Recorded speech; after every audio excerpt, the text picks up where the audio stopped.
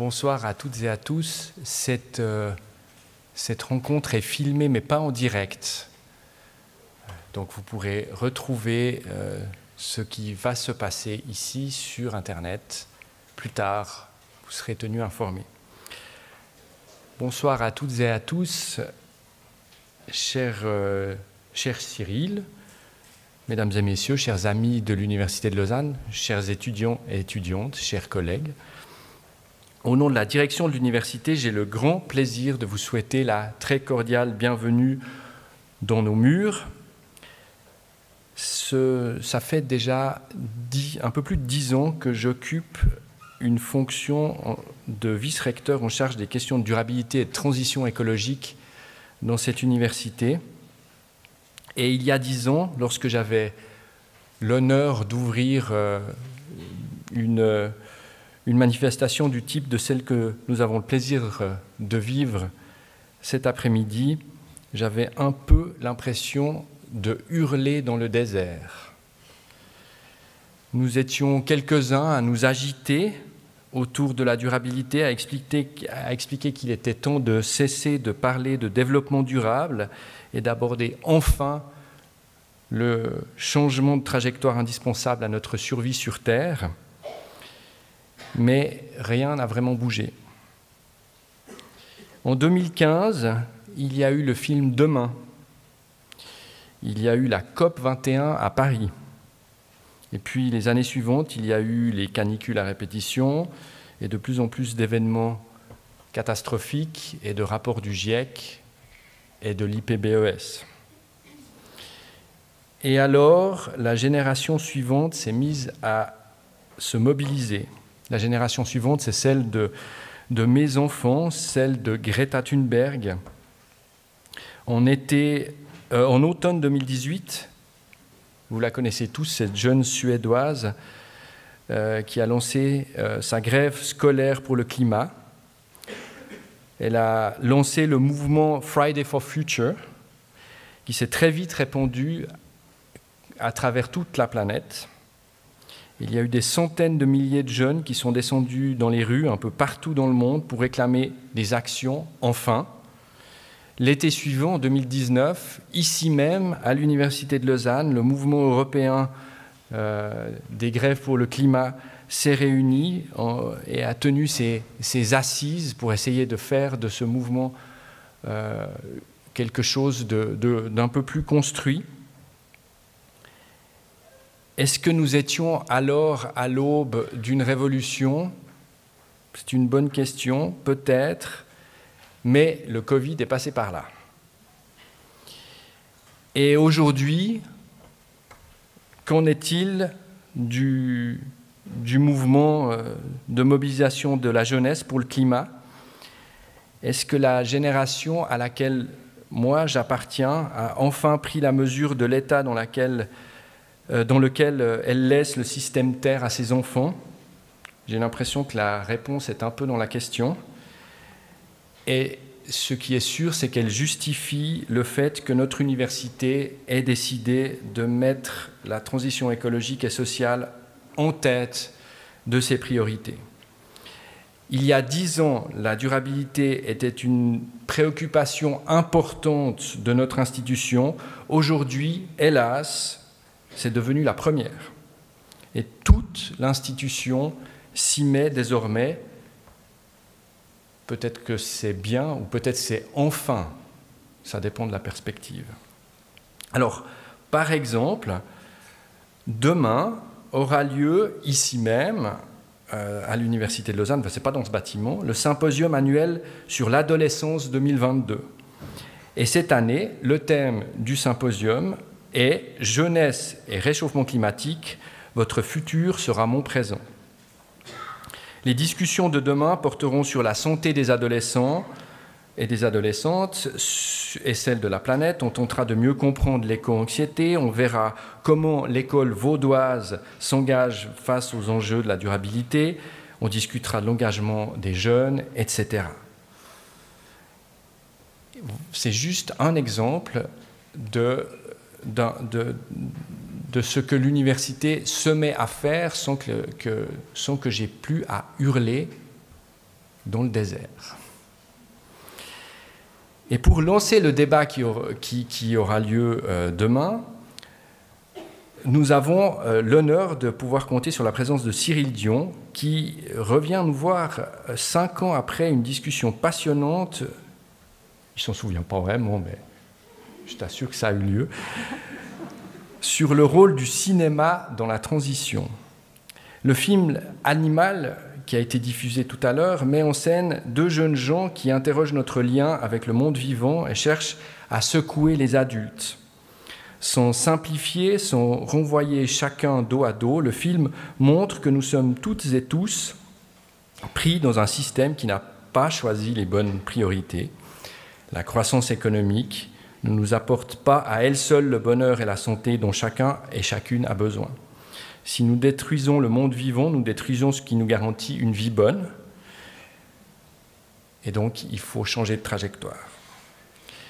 J'aimerais te remercier chaleureusement, cher Cyril, d'avoir accepté notre invitation à venir discuter encore une fois euh, avec nous.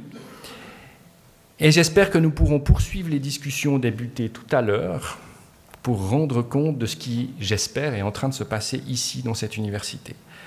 La rencontre de ce soir est le résultat du travail de plusieurs unités de notre institution que j'aimerais saluer ici et surtout féliciter. Le symposium adolescent est organisé par le Centre de recherche sur la famille et le développement, le FADO, de l'Institut de psychologie de la Faculté des sciences sociales et politiques, par le Centre de recherche interdisciplinaire LIVES sur les parcours de vie de la même faculté, et par le groupe de recherche sur la santé des adolescents d'Unisanté. Compte tenu de la thématique choisie, notre centre de compétences en durabilité a logiquement été mobilisé pour participer à la programmation et le réseau Alumnil, qui regroupe les anciennes et les anciens étudiants et étudiantes de l'Université de Lausanne, s'est également joint à l'organisation. J'aimerais chaleureusement remercier toutes ces équipes qui ont mis toutes leurs compétences en commun pour organiser cette soirée. Merci aussi à Unicom pour tous les aspects techniques. Et je passe maintenant la parole à Nelly Niwa, la directrice du Centre de compétences en durabilité, qui va animer cette soirée. Bonne soirée à toutes et à tous. Merci.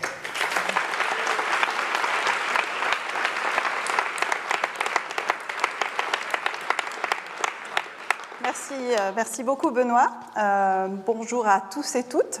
Euh, je suis ravie de vous voir aussi nombreux dans cette salle pour cette discussion, cette discussion que nous avons intitulée Transition comment tenir bon ou comment faire tenir bon. Euh, je vous propose qu'on la, cette discussion, on la, on, la, on la, déroule en trois parties. Pour la première partie, je vous propose qu'on aborde la question de la relation entre les émotions et la transition. J'imagine que si vous êtes dans cette salle, c'est que les enjeux de transition vous questionnent, euh, vous mobilisent, voire vous engagent. Et sans doute que ces questions engagent aussi chez vous un certain nombre d'émotions, qui peuvent être la peur, qui peuvent être la colère, qui peuvent être aussi la joie. Et c'est sur ces questions de relation émotion-transition que j'aimerais euh, qu'on déroule ce premier chapitre de cette discussion. Ensuite, dans un deuxième temps, je vous propose qu'on fasse un focus particulier sur la question des jeunes, ou comment finalement aborder ces questions de crise environnementale et de transition écologique et sociale avec, avec ce public. Euh, émotionnellement, ce sont des, problématiques qui sont lourdes. Du coup, quel ton adopter, quel contenu amener euh, à ce public? C'est les questions que nous nous poserons dans cette euh, seconde partie. Et la troisième partie, ce sera votre partie, ce sera la partie des questions. donc préparez vos questions. Nous avons pris un tronc assez généreux pour que vous puissiez avoir le temps de les poser. Et pour répondre à toutes ces questions, et sans doute encore à d'autres, je vais inviter Cyril Dion à nous rejoindre. Euh, donc Cyril Dion, je ne sais pas s'il faut encore le présenter, mais je vais quand même le faire. Si on peut s'asseoir ici. Euh, Cyril Dion, donc euh, vous êtes réalisateur notamment des films Demain et Animal qui a été projeté juste avant. Vous êtes aussi poète écrivain et activiste environnemental. On vous doit une forte mobilisation sur tout ce qui était marche pour le climat, euh, sur l'affaire du siècle aussi. Et puis vous avez été aussi dans le, vous avez été garant euh, du processus de l'Assemblée, de la Convention citoyenne pour le climat en France. Merci beaucoup d'avoir accepté de revenir euh, parmi nous. On est très très content de vous avoir ce soir. Et puis je vais inviter les autres participantes à cette table ronde. Tout d'abord Sarah Colère. Sarah Colère, vous êtes euh, doctorante à la faculté des géosciences et environnement. vous, à l'Institut de géographie et de durabilité. vous êtes aussi la responsable de l'espace transition. Et on vous a beaucoup entendu dans les médias sur les questions d'éco-anxiété. Et vous pratiquez aussi le travail qui relie. nous avons aussi une autre doctorante aussi parmi nous, Célia de Pietro, alors Célia De Pietro est doctorante aussi, mais cette fois-ci à la, faculté des sciences sociales et politiques au laboratoire Théma en sociologie. Hein, donc. Et toutes les deux, vous abordez en fait la question, dans vos, dans vos recherches, vous abordez la question du lien entre émotion et transition écologique. Merci beaucoup d'avoir accepté d'être présente euh, parmi nous aussi ce soir. Je vais commencer donc cette première partie euh, qui va travailler donc sur le lien entre émotion et transition par une question et un constat peut-être. Euh, le constat que la situation actuelle n'est pas, n'est pas franchement à la réjouissance, si on est honnête. Euh, bien sûr qu'il y a un certain nombre d'améliorations graduelles, mais on est très très loin des transformations qui seraient nécessaires pour aller vraiment vers une transition écologique et sociale. Dans ce contexte, Cyril Dion, bah déjà, est-ce que vous partagez ce même contexte, enfin ce même constat que moi? Et puis, bah finalement, qu'est-ce que ça génère euh, comme émotion chez vous de voir ce qui se passe actuellement? Bonsoir tout le monde, content d'être là. C'est pas une corvée de revenir, hein. je, suis hyper content que vous me remerciez 15 fois d'être revenu, genre d'être revenu, Lausanne, genre ok. Mais je suis très content d'être là. Euh, euh, oui, enfin, je, je, serais quand même euh, dans une forme de déni assez profond si je ne partageais pas ce constat. Mais ça fait longtemps, à vrai dire.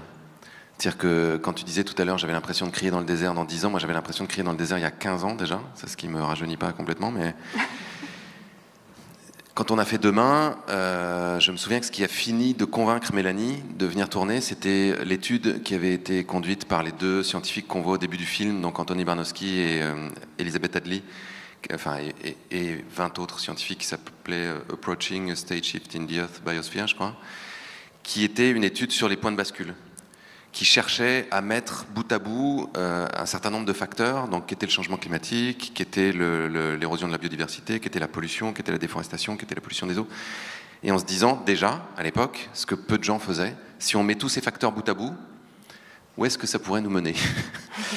Et euh, j'avais montré cette étude à Mélanie qui était enceinte à l'époque, et donc pour parler d'émotion, elle était... Euh, c'était un mélange de terrifié, atterré, assez dubitatif sur qu'est-ce que je fais avec un enfant dans le ventre là tout de suite, dans quel monde il va grandir, et qu'est-ce qu'on peut faire? Une forme d'impuissance aussi. Et c'est beaucoup ce que j'ai constaté euh, en moi pendant des années. Euh, après, moi, j'ai une, j'ai une bonne mécanique, c'est-à-dire que ma, j'ai une bonne psychiatre aussi, qui me dit que qui m'a expliqué que je gérais l'anxiété par la suractivité. Donc euh, quand il y en a trop, c'est embêtant, mais malgré tout, l'action est pour moi une façon de gérer l'angoisse en permanence, justement pour essayer de contourner ce, cette impression d'écrasement, d'impuissance, de sidération, pour se remettre dans une forme de mouvement, se remettre dans la vie. Et c'est vrai que c'est une question qu'on me pose assez souvent, de me dire, mais... Euh, Comment vous faites alors que vous regardez ça toute la journée euh Et la, meilleure comparaison que je répète souvent, donc peut-être que vous avez déjà entendu ça, mais c'est pour moi la relation entre la peur qu'on peut avoir de l'avenir avec une forme d'effondrement écologique, c'est-à-dire si on se dit, OK, là on est sur une trajectoire où si tous les pays respectent leurs engagements climatiques, on est à plus 3,2. Plus 3,2, là le sixième rapport du GIEC montre que c'est déjà finalement des, conséquences qui, il y a quelques années, étaient attribuées à des températures plutôt de l'ordre de plus 5. C'est-à-dire qu'à plus 3,2, on est déjà euh, sur une bonne partie de la planète qui devient inhabitable. Là, ils expliquaient dans le deuxième volet du rapport qu'il y avait 3 milliards et demi de personnes qui vivaient sur des zones qui étaient extrêmement fragiles et qui potentiellement deviendraient invivables euh, avec ces températures-là. Donc je déroule pas tout ce que ça peut euh, vouloir dire, mais c'est bon, c'est proprement terrifiant. Euh, l'effondrement de la biodiversité, quand on a fait Animal, c'était pareil. On a été voir les scientifiques qui nous disaient mais nous c'est ça qui nous empêche de dormir. Euh, on voit bien qu'en fait tout le monde est en train de se mobiliser sur le climat, mais en l'occurrence, si on continue cette trajectoire, qu'on va vers une sixième extinction de masse, une, une extinction de masse, c'est 75% de la vie qui disparaît brutalement, alors brutalement à l'échelle géologique, mais quand même sur la planète. Euh, ça va être dur de s'en relever aussi. Et quand on voit que ça, c'est seulement deux des neuf limites planétaires et qu'a priori on en a dépassé six, il y a de quoi avoir la trouille. Donc cette trouille-là, pour moi, elle s'apparente beaucoup à hum, la peur de la mort, donc à la peur de disparaître, à la peur de... Et la peur de la mort, on vit tout le temps avec. Enfin, si vous êtes, vous êtes au courant que vous allez mourir quand même, quelqu'un vous l'a dit. Mais même si vous savez ça, vous vous levez pas tous les matins en vous disant euh, c'est affreux, je vais mourir. Enfin, Woody Allen fait ça, mais sinon vous, normalement, vous le faites pas. Vous dites pas je, je, je, suis dans une angoisse profonde qui fait que je ne peux rien faire et de toute façon rien n'a de sens. Et, euh, non, voire même le contraire. Il y a un certain nombre de gens qui passent très près de la mort, qui vivent une sorte de regain de vitalité en se disant euh, la vie est courte, elle est précieuse, il faut en faire un maximum de choses. Donc j'ai envie chaque jour de faire des trucs qui me passionnent, de d'être un peu plus vivant et de rendre le monde un peu plus vivant. Et il me semble que la meilleure réponse à cette situation écologique, c'est ça aussi. C'est-à-dire c'est d'opposer une dynamique de vie à des dynamiques de mort. En disant qu'est-ce, qu'est-ce qui me rend vivant là? Qu'est-ce qui donne du sens à mon existence? Qu'est-ce qui me donne envie de me lever le matin? Qu'est-ce qui peut être utile aux autres? Et c'est intéressant de voir que c'est là que se rejoignent énormément de problématiques. C'est-à-dire que en faisant ce qu'on aime, en exprimant nos talents, en étant porté par une forme de passion, d'enthousiasme, on est beaucoup plus puissant, beaucoup plus efficace, on inspire beaucoup plus de gens, donc on va avoir beaucoup plus d'impact. Et en même temps, on se rend la vie plus facile. C'est-à-dire qu'on arrête simplement de se dire que tout est horrible et tout est affreux. Et d'une certaine manière, sans vouloir faire le bouddhiste de comptoir, on revient euh, un peu dans le présent. C'est-à-dire qu'on arrête de faire des, des anticipations sur l'avenir euh, et des projections et des interprétations qui de toute façon ne seront pas exactement ça, même si euh, c'est important de voir quelle est la trajectoire. Et puis on arrête de maudire le passé et on accepte de vivre, ce qui est finalement l'objectif de l'existence, c'est de vivre. Donc moi j'essaie de faire ça. J'arrive pas tous les jours, hein, mais euh, il y a des jours j'y arrive. Est-ce que vous pensez, Cyril Dion, ben, on voit que la place des émotions, elle est, vraiment très importante sur ces questions de transition. Est-ce que vous avez le sentiment que maintenant, euh, on, les a vraiment compris, ces émotions, et qu'on les intègre vraiment dans le processus de transition? Est-ce qu'on les a mis à, déjà à leur place, ce qui est important? Bof, quand même. C'est-à-dire que je vois qu'il y a quand même une grande difficulté, et j'en parle avec un certain nombre d'amis qui sont aussi auteurs du GIEC ou dans une forme de culture scientifique très rationaliste, on a aussi tâché de mettre les émotions de côté, en disant non, bien, regardons les choses froidement, euh, intellectuellement, sauf que ça marche pas. C'est-à-dire que nous sommes des êtres profondément irrationnels, nous sommes des êtres euh, traversés d'émotions en permanence, nous n'avons aucune forme d'objectivité, on porte un point de vue sur le monde et on essaye de, d'accorder ces points de vue sur une sorte de terrain commun qui devient une, une sorte de d'objectivité fragile euh, et temporaire, puisque en plus les certitudes qu'on a à une époque peuvent être remises en question à une autre et tout ça. Donc on a besoin d'aborder les, humains dans toutes leurs dimensions. On a besoin d'être rationnel à des moments, on a besoin d'être extrêmement précis sur des faits et d'essayer justement de se battre contre notre subjectivité permanente pour essayer de l'objectiver ou au moins de, oui, de pouvoir s'accorder à un maximum de personnes sur une façon de voir le monde, sur une sorte de diagnostic. Mais on a aussi besoin de comprendre comment tout ça nous bouleverse. Si on déporte ça sur d'autres sujets, par exemple euh, les élections, euh, je ne sais pas si vous avez déjà euh, vu ce genre d'expérience, mais il y a des expériences qui ont été conduites sur des personnes qui regardent des débats télévisés pour des élections présidentielles, notamment aux États-Unis. Et on voyait que la, la, plupart des zones qui étaient actives dans le cerveau étaient des zones émotionnelles, très peu de zones réflexives et que la motivation première pour voter pour un candidat n'est pas forcément son programme, ses idées, euh, que c'est une espèce de mélange avec des perceptions, des perceptions qui peuvent être même euh, de, de langage corporel, d'impression de, physique, de sentiments de confiance. De... Donc il y a tout ça. Donc si on veut pouvoir alerter sur ces questions-là, et si on veut aussi pouvoir donner de l'élan, on a besoin de, de s'adresser à nos émotions. Nos, émotions, émotionnellement, c'est ce qui nous, euh, étymologiquement, pardon, c'est ce qui nous meut, c'est ce qui nous met en mouvement. Et on a besoin de se mettre en mouvement. Sinon, euh, alors après, il y a des émotions qui font le contraire, qui, d'une certaine manière, nous sidèrent. Et je sais que quand on avait fait Demain, et c'est la même chose avec Animal, et c'est la même chose avec la plupart des choses que je fais, je faisais ce constat-là. Je me disais, mais si on n'est que sur un registre d'émotions, ce qui était un peu le, moteur à un moment, c'est-à-dire euh, il faut faire peur aux gens, il faut leur montrer à quel point c'est horrible, on suscite toujours le même type de réactions qui sont de la, désespérance, du déni, de, l'écrasement, de l'impuissance. Comment est-ce qu'on peut adjoindre à ça Et c'est ce qu'on a essayé de faire avec Animal. Une fois qu'on s'est pris un coup de poing dans l'estomac, parce que c'est important quand même de voir la gravité de la situation, comment est-ce qu'ensuite on peut susciter des émotions qui sont de l'ordre de l'enthousiasme, de l'élan, de l'émerveillement, de la volonté de coopérer, de l'amour, pourquoi pas, c'est ce qui est beaucoup euh, répété dans l'animal?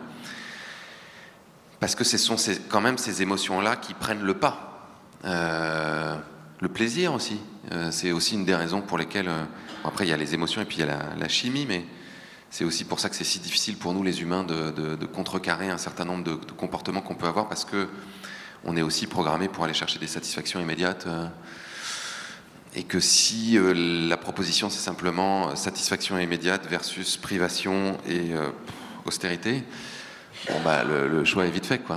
Mm-hmm. Donc, on a besoin de trouver des stratégies, vraiment, à mon avis, qui, réveillent en nous des, ouais, des trajectoires de sens, de l'envie, de, de la stimulation à, tous les étages, la stimulation physique, émotionnelle, sensorielle, intellectuelle. Voilà. Merci beaucoup. En effet, euh, sur la place des émotions, c'est vrai que les émotions peuvent nous mouvoir, mais aussi je me pose la question de savoir si elles ne peuvent pas nous freiner à aller vers une transition. Et puis j'aimerais en discuter avec Sarah Colère. Sarah Colère, donc vous faites votre thèse. Euh, alors je vais un peu la caricaturer, je m'excuse d'avance, mais euh, vous faites une thèse sur le lien entre la crise, enfin, les peurs existentielles, on va dire, et la croissance économique. Et finalement, on peut se poser la question, quand vous me racontiez votre thèse, si finalement, est-ce que c'est pas parce qu'on a peur de mourir qu'on va pas vers une transition, hein, quelque part? Ben, Bonsoir à toutes et tous. Euh, du coup, je pense que ça fait écho avec beaucoup de choses qui ont déjà été dites. Euh, finalement, dans, la psychologie existentielle, on peut, euh, en, simplifiant, voir un peu comme si on avait deux modes de, de, vécu de nos propres angoisses existentielles, donc la peur de la mort, le sens de la vie, qu'on peut soit vivre de manière plutôt défensive, d'une certaine manière, dans un extrême, comme si c'était un continuum de polarité. Une polarité, c'est de manière défensive, on ne veut pas trop y penser, on met la tête voilà, dans le sable, etc. Puis l'autre, c'est vraiment de manière réflexive. Là, il y a beaucoup d'études qui se font en montrant, ben, les, philosophes euh, déjà de l'époque antique disaient que c'est important de regarder en face euh, ces questions existentielles pour vivre mieux, avec plus de sens, etc. Puis je pense que ce qu'on observe dans notre société, c'est qu'on a une culture, donc j'ai l'impression qu'on est vraiment dans une forme de mutation culturelle dans, nos repères idéologiques qui est complètement en train de basculer. Et en fait, jusqu'à maintenant, on avait une tendance plutôt à gérer de manière défensive nos angoisses en se... Ça, c'est en fait dans les études, ils montrent ça, que la culture sert en fait à apaiser nos angoisses parce qu'elle nous donne un certain nombre de codes de conduite, de croyances, de représentation du monde, mais aussi d'identification et de systèmes de valeurs pour nous-mêmes. Et on est dans un basculement et aujourd'hui, on est peu outillé en fait pour, pour inventer des nouvelles valeurs, inventer de nouvelles croyances. Et finalement, c'est comme si, et je trouve que c'est intéressant de percevoir l'éco-anxiété comme ça aussi, de se dire voilà, les émotions, c'est ce qui nous meut, mais dans notre société, on est tellement peu outillé qu'on arrive dans une forme d'éco-anxiété, comme si l'éco-anxiété était, était la cristallisation du manque d'outils qu'on a dans notre société pour vivre simplement ces émotions. Et, sortir d'une forme de tabou, de dire que non, c'est normal d'être en colère, c'est normal d'être triste. Maintenant, c'est la question comment on accompagne ça et qu'est-ce qu'on en fait. Et du coup, c'est intéressant de se dire bah, qu'il y a des peurs profondes inconscientes en fait qui nous meuvent et que le système économique, comme il est fait, euh, se nourrit de ces peurs-là inconscientes. Et que du coup, il y a un vrai travail à faire, introspectif, etc. Et, euh, de, remise en lien. Mais il y, a, énormément de choses qui existent, qui sont possibles. Et du coup, ça rejoint aussi la gratitude, finalement, de se dire, mais euh, on est aussi dans une culture qui va tout le temps vers l'avenir. Regardez, il faut... Enfin, moi, je vois, voilà, j'ai 35 ans et c'est... il faut faire un deuxième pilier, il faut faire un troisième pilier, mais on ne sait même pas si on aura une retraite. Enfin, je sais pas, il y a plein de choses qui sont en train de complètement... Donc, comment est-ce qu'on fait pour revivre différemment en privilégiant justement le présent. Et euh, il y a plein de choses à inventer qui sont très très belles. Mais voilà, il y, a tous des ressorts inconscients qui sont en fait prouvés, assez défendus maintenant dans la littérature, de prise de conscience, qui sont vachement importantes à, à révéler. Tout petit rebond là-dessus. Quand on montrait Animal à à des collégiens, il y en a qui me disaient euh, parce que le début du film est assez dur, et qui disait Mais moi, je me suis senti triste, je me suis senti en colère, comme si c'était euh, pas bien. Voilà. Et je leur disais Mais euh, bah, c'est super. Et puis c'était fait pour ça en plus. Non mais c'est vrai. C'est-à-dire qu'on a réussi notre coup. Et heureusement que tu t'es senti en colère et angoissé. Sinon, ça voudrait dire que tu es un dangereux psychopathe. C'est-à-dire que tu n'as plus aucune espèce d'empathie et d'émotion pour le monde vivant. Il y a un tel rejet de ces émotions qu'on dit négatives, mais qui sont là pour quelque chose quand même. Elles sont là pour nous alerter, pour nous réveiller. Et, je suis complètement d'accord que notre culture a énormément de mal à les gérer. Et c'est comme si tout d'un coup, il fallait absolument les oublier. Il fallait se divertir. On, on est vraiment dans une culture du divertissement. Il fallait divertir ces émotions-là pour ne surtout pas y penser. Mais c'est absurde. Et à force de le faire, on n'accepte pas de rentrer dans le réel et donc d'en faire quelque chose. Mm-hmm. Je me retourne maintenant vers, euh, vers Célia de Pietro. Donc peut-être pour raconter, enfin vous nous, pourrez nous présenter un petit peu plus euh, votre, votre thèse.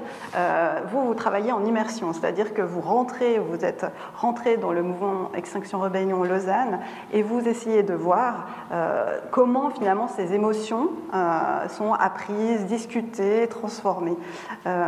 Est-ce que vous pouvez nous en dire un petit peu plus en fait sur comment ces émotions sont gérées dans ces collectifs militants? Alors euh, oui, bonjour, euh, merci pour l'invitation et ben, bonjour à, à. Euh, donc moi en fait je, rejoins beaucoup de points qui ont, déjà été dits. En effet j'ai commencé ma thèse il y a trois ans en, rejoignant le, mouvement Extinction Rebellion dans une double approche à la fois d'observer mais aussi de participer pour interroger à la fois la manière dont les émotions étaient discutées mais aussi comment moi-même en fait je ressentais, j'étais en fait mise face à des émotions. Et euh, peut-être que là où je fais un petit, euh, un, petit pas de côté, c'est que du coup j'ai une approche ben voilà, sociologique, je, travaille en sociologie, une approche sociologique des émotions euh, qui va venir questionner en fait plus que s'il y a de bonnes ou de mauvaises émotions. Et là je rejoins particulièrement ce que vous venez de dire, Cyril Dion, parce que je ne pense pas qu'il y a de bonnes ou de mauvaises émotions en effet. Euh, mais qui va plutôt questionner euh, la manière en fait de, s'ajuster à certaines situations et de voir ses émotions selon diverses dimensions. Alors pour ça, j'ai la chance d'avoir une directrice euh, de, thèse, Laurence Kaufmann, qui m'a beaucoup appris et du coup qui, définit aussi les émotions selon trois dimensions, certes physiologiques, phénoménologiques et, tout ça, mais aussi comme selon une dimension intentionnelle, c'est-à-dire que les émotions peuvent, peuvent aussi être des proto-jugements euh, évaluatif. Donc on va voir un objet et en fait euh, l'émotion qu'on va ressentir est une forme de jugement sur cet objet. Euh, et finalement, bah, ce que vous disiez, Cyril Dion, bah, finalement la dimension motivationnelle, c'est-à-dire, elle a cette formulation que j'aime beaucoup, les émotions, elles nous meuvent et elles nous émeuvent. Et voilà, donc en fait, il y a ces trois dimensions, mais en fait, là où il faudrait aussi commencer à, penser un peu peut-être différemment, je pense notamment aux, sphères politiques, euh, c'est de toujours opposer rationalité et émotion et de se dire que par exemple, si un ours entrait dans cette salle, avoir peur est, quelque chose de très rationnel en fait. Euh, et que peut-être que sortir de ces schémas en fait de, de, de, pensée nous permettent aussi de en fait, de, euh, de réintégrer les émotions au domaine politique, ce qui m'intéresse, et euh, de voir en fait justement, ben voilà, dans Extinction Rebellion, c'est un peu ce qui est, ce qui est tenté, d'accueillir ces émotions, euh, mais Extinction Rebellion ou d'autres mouvements d'ailleurs actuels, où en fait ces émotions, ben, en fait, sont prises au sérieux. En fait, euh, on a peur, on est en colère, on est triste, etc. Et en fait, ben, toutes ces émotions sont, accueillies, prises au sérieux, discutées. Et en fait, il n'y a aucun moment où elles sont vues comme irrationnelles. En fait, est-ce que c'est irrationnel d'être euh, terrifié euh, face à l'effondrement climatique ou de la biosphère, etc. moi, personnellement, je ne pense pas que ce soit irrationnel. Merci beaucoup. Euh, j'aimerais maintenant vous adresser, on a, posé un certain nombre déjà d'éléments sur les émotions, et puis euh, je pense qu'on est nombreux et nombreuses dans cette salle à vouloir en fait une réponse à la question de la conférence, c'est comment on fait pour tenir bon euh, finalement. Et, et, je voulais m'adresser à, vous Cyril Dion, finalement, quel, vous, vous l'avez un petit peu mentionné, mais j'aimerais qu'on aille plus loin, c'est finalement quels outils vous avez développés vous, des ressources, en fait c'est quoi votre secret en gros? à révéler devant toute une salle euh, pour tenir bon. Euh, qu'est-ce, que, vous faites en fait pour y arriver? Je ne sais pas si j'ai un secret, je ne sais pas si je tiens bon tout le temps. Hein. Donc, euh, hmm. un peu ce que je vous disais tout à l'heure, c'est-à-dire que il y a un moment, j'ai décidé d'arrêter d'être dans une forme de militantisme sacrificiel et de croire que j'allais, à moi tout seul ou par les actions que j'allais entreprendre, sauver le monde d'une certaine manière, parce que c'est impossible, parce que c'est trop écrasant, parce que c'est sans fin, parce que euh, on est toujours dans une forme de frustration, d'insatisfaction et donc de désespérance parce que ça ne sera jamais assez et parce que la tâche est trop vaste. Donc d'une certaine manière, j'essaye de lâcher avec la pression du résultat, en me disant que ce que je fais, c'est d'abord quelque chose que j'aime, qui me, qui me nourrit aussi, qui m'épanouit, je sais que si je fais des films ou si j'écris des livres ou même là d'être avec vous et de discuter, c'est quelque chose qui me, qui me nourrit, moi, qui me fait du bien.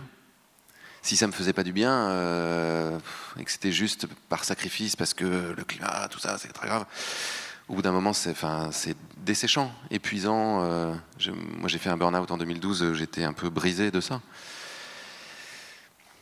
Et puis, euh, j'accepte que je fais tout ce que je peux dans la mesure de mes possibilités, que j'essaye de le faire en, plus en réfléchissant, en essayant d'avoir une, dimension stratégique à mon action, euh, mais que c'est ce que je peux faire, quoi, moi, que je ne peux pas forcément faire plus, et que c'est déjà euh, très bien, et que, ultimement, comme je le disais tout à l'heure, mon objectif est de vivre ma vie. Là, quand on a quand on a tourné Animal, c'était vraiment passionnant parce que on a eu cette conversation avec tous ces biologistes, avec tous ces aussi des activistes, aussi des économistes, sur est-ce que notre espèce a un, sens, à, quoi on sert finalement? Est-ce que là on, détruit tout Est-ce qu'on sert à quelque chose? Et on a eu plein de réponses différentes, notamment euh, la réponse d'Éloi Laurent, donc, qui est économiste à l'OFCE et qui est prof à Sciences Po et à Stanford. Et, Bella lui pose cette question et, dit Moi, mon, but dans l'existence, c'est d'aimer et d'être aimé. Voilà. Bah, c'est bien. Je me dis Si chaque jour, mais non, mais c'est vrai, si chaque jour vous pouviez simplement vous dire bah, Ok, si, c'est ça mon but dans l'existence, donc prenons le sien, il faut que chaque jour, je puisse aimer très fort et être aimé très fort, très intensément, chaque jour. Et ça, c'est le carburant, c'est la trajectoire de sens qui me permet de, faire tout le reste. Quand je discutais avec Baptiste Morisot, qui est dans le film aussi, euh, je me souviens, on a eu toute un, une conversation à une époque, donc j'allais chez lui, euh, on allait été randonnée, et il n'arrivait plus à écrire. Et il me disait, je suis hyper mal, parce que écrire, c'est ce qui donne un sens supérieur à mon existence, à mes journées. C'est-à-dire que je, suis en train de processer en permanence, en arrière-plan, et donc toutes les tâches, toutes les, discussions, toutes les balades que je vais faire, elles sont portées par cette trajectoire de sens-là. Et en ce moment, j'arrive pas à écrire. Et donc, j'ai énormément de mal à vivre, il me disait quoi? Euh, À vivre à basse intensité.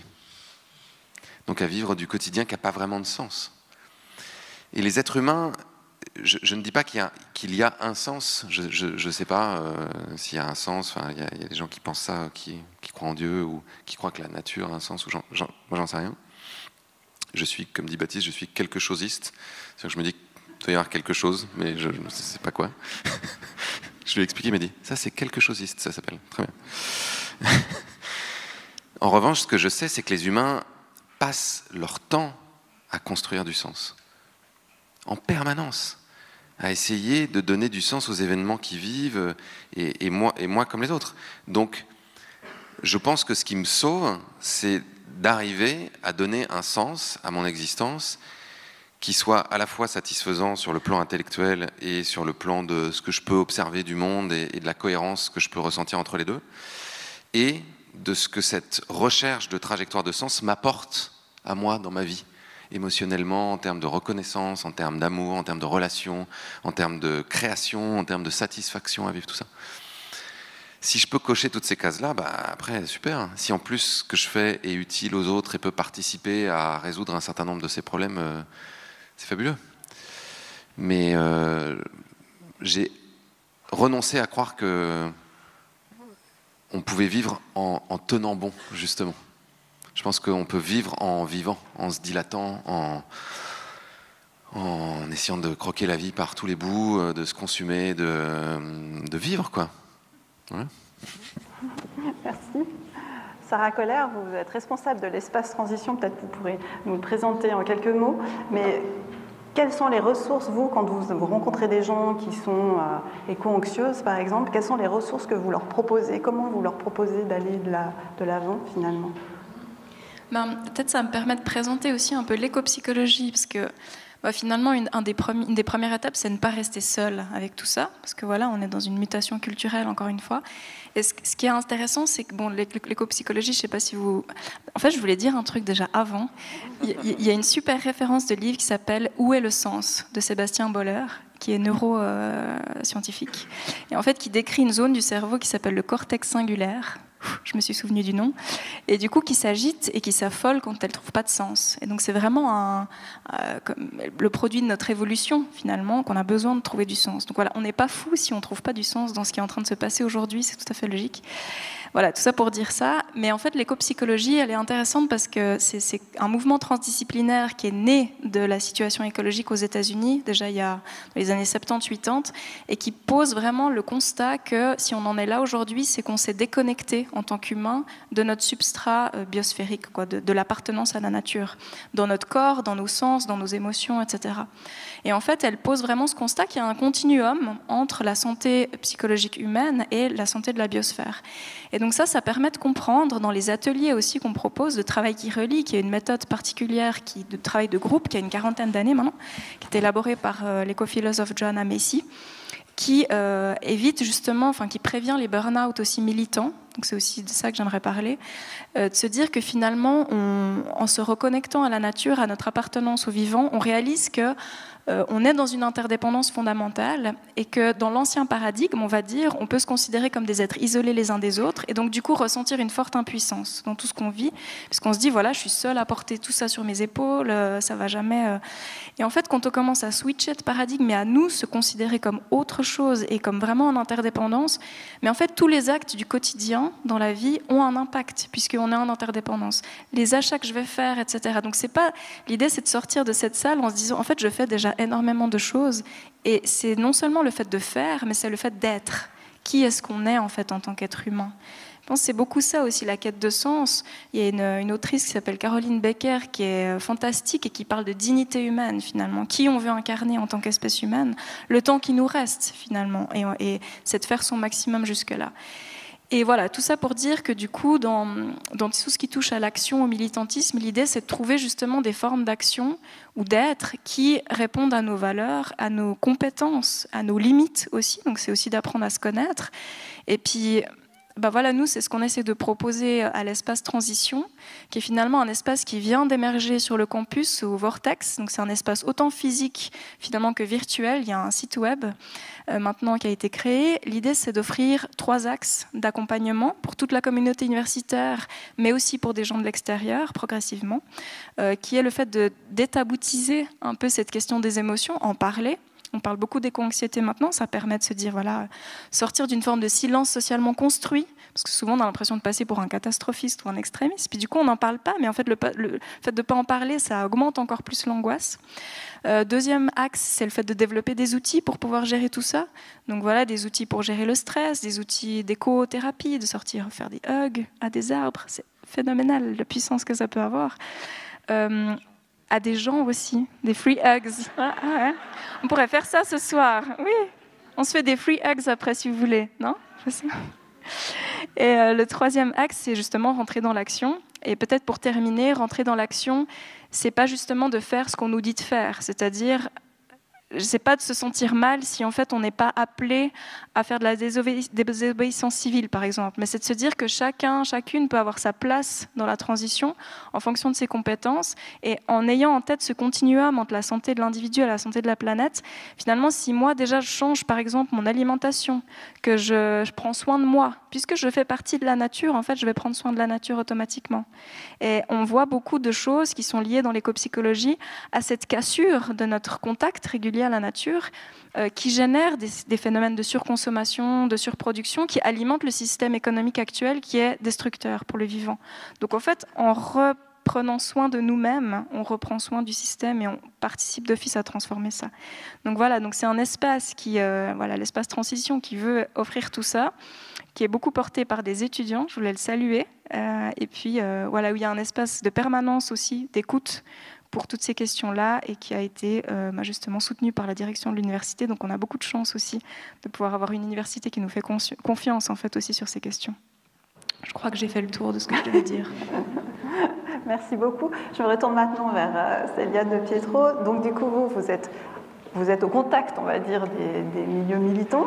Euh, vous avez aussi euh, rencontré les, les zadistes les, de la ZAD du Mormon. On va voir quelques images maintenant qui passeront derrière, derrière nous. Ce sont des photos de Nora Rupp, euh, qui est photographe et qui a intitulé son travail La cabane des possibles. Ce travail sera, sera présenté au musée d'ethnographie de Neuchâtel le 18 juin. Je crois que c'est le vernissage. donc vous, verrez ces, ces très belles photos et je voulais vous poser la question euh, Célia, vous, quelles ressources vous avez vu que ces milieux militants euh, mettaient en place euh, pour travailler sur ces questions d'émotion? Quelles ressources ils avaient à disposition? Alors oui, ben, du coup, je suis en plus très contente parce que j'ai un écran là pour voir les, magnifiques photos de, Nora Roop.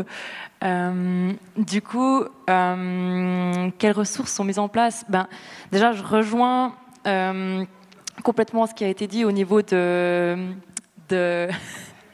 bah ça va parfaitement avec ce que je m'apprête à dire, donc c'est parfait.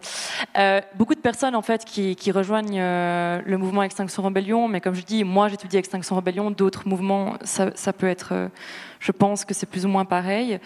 et en fait, j'étudie beaucoup aussi ces moments d'entrée dans le mouvement se sentent en fait seuls, démunis, ne savent plus en fait quoi faire. Et en fait, on a beaucoup cette impression, euh, ces personnes ont beaucoup l'impression de, ce tabou.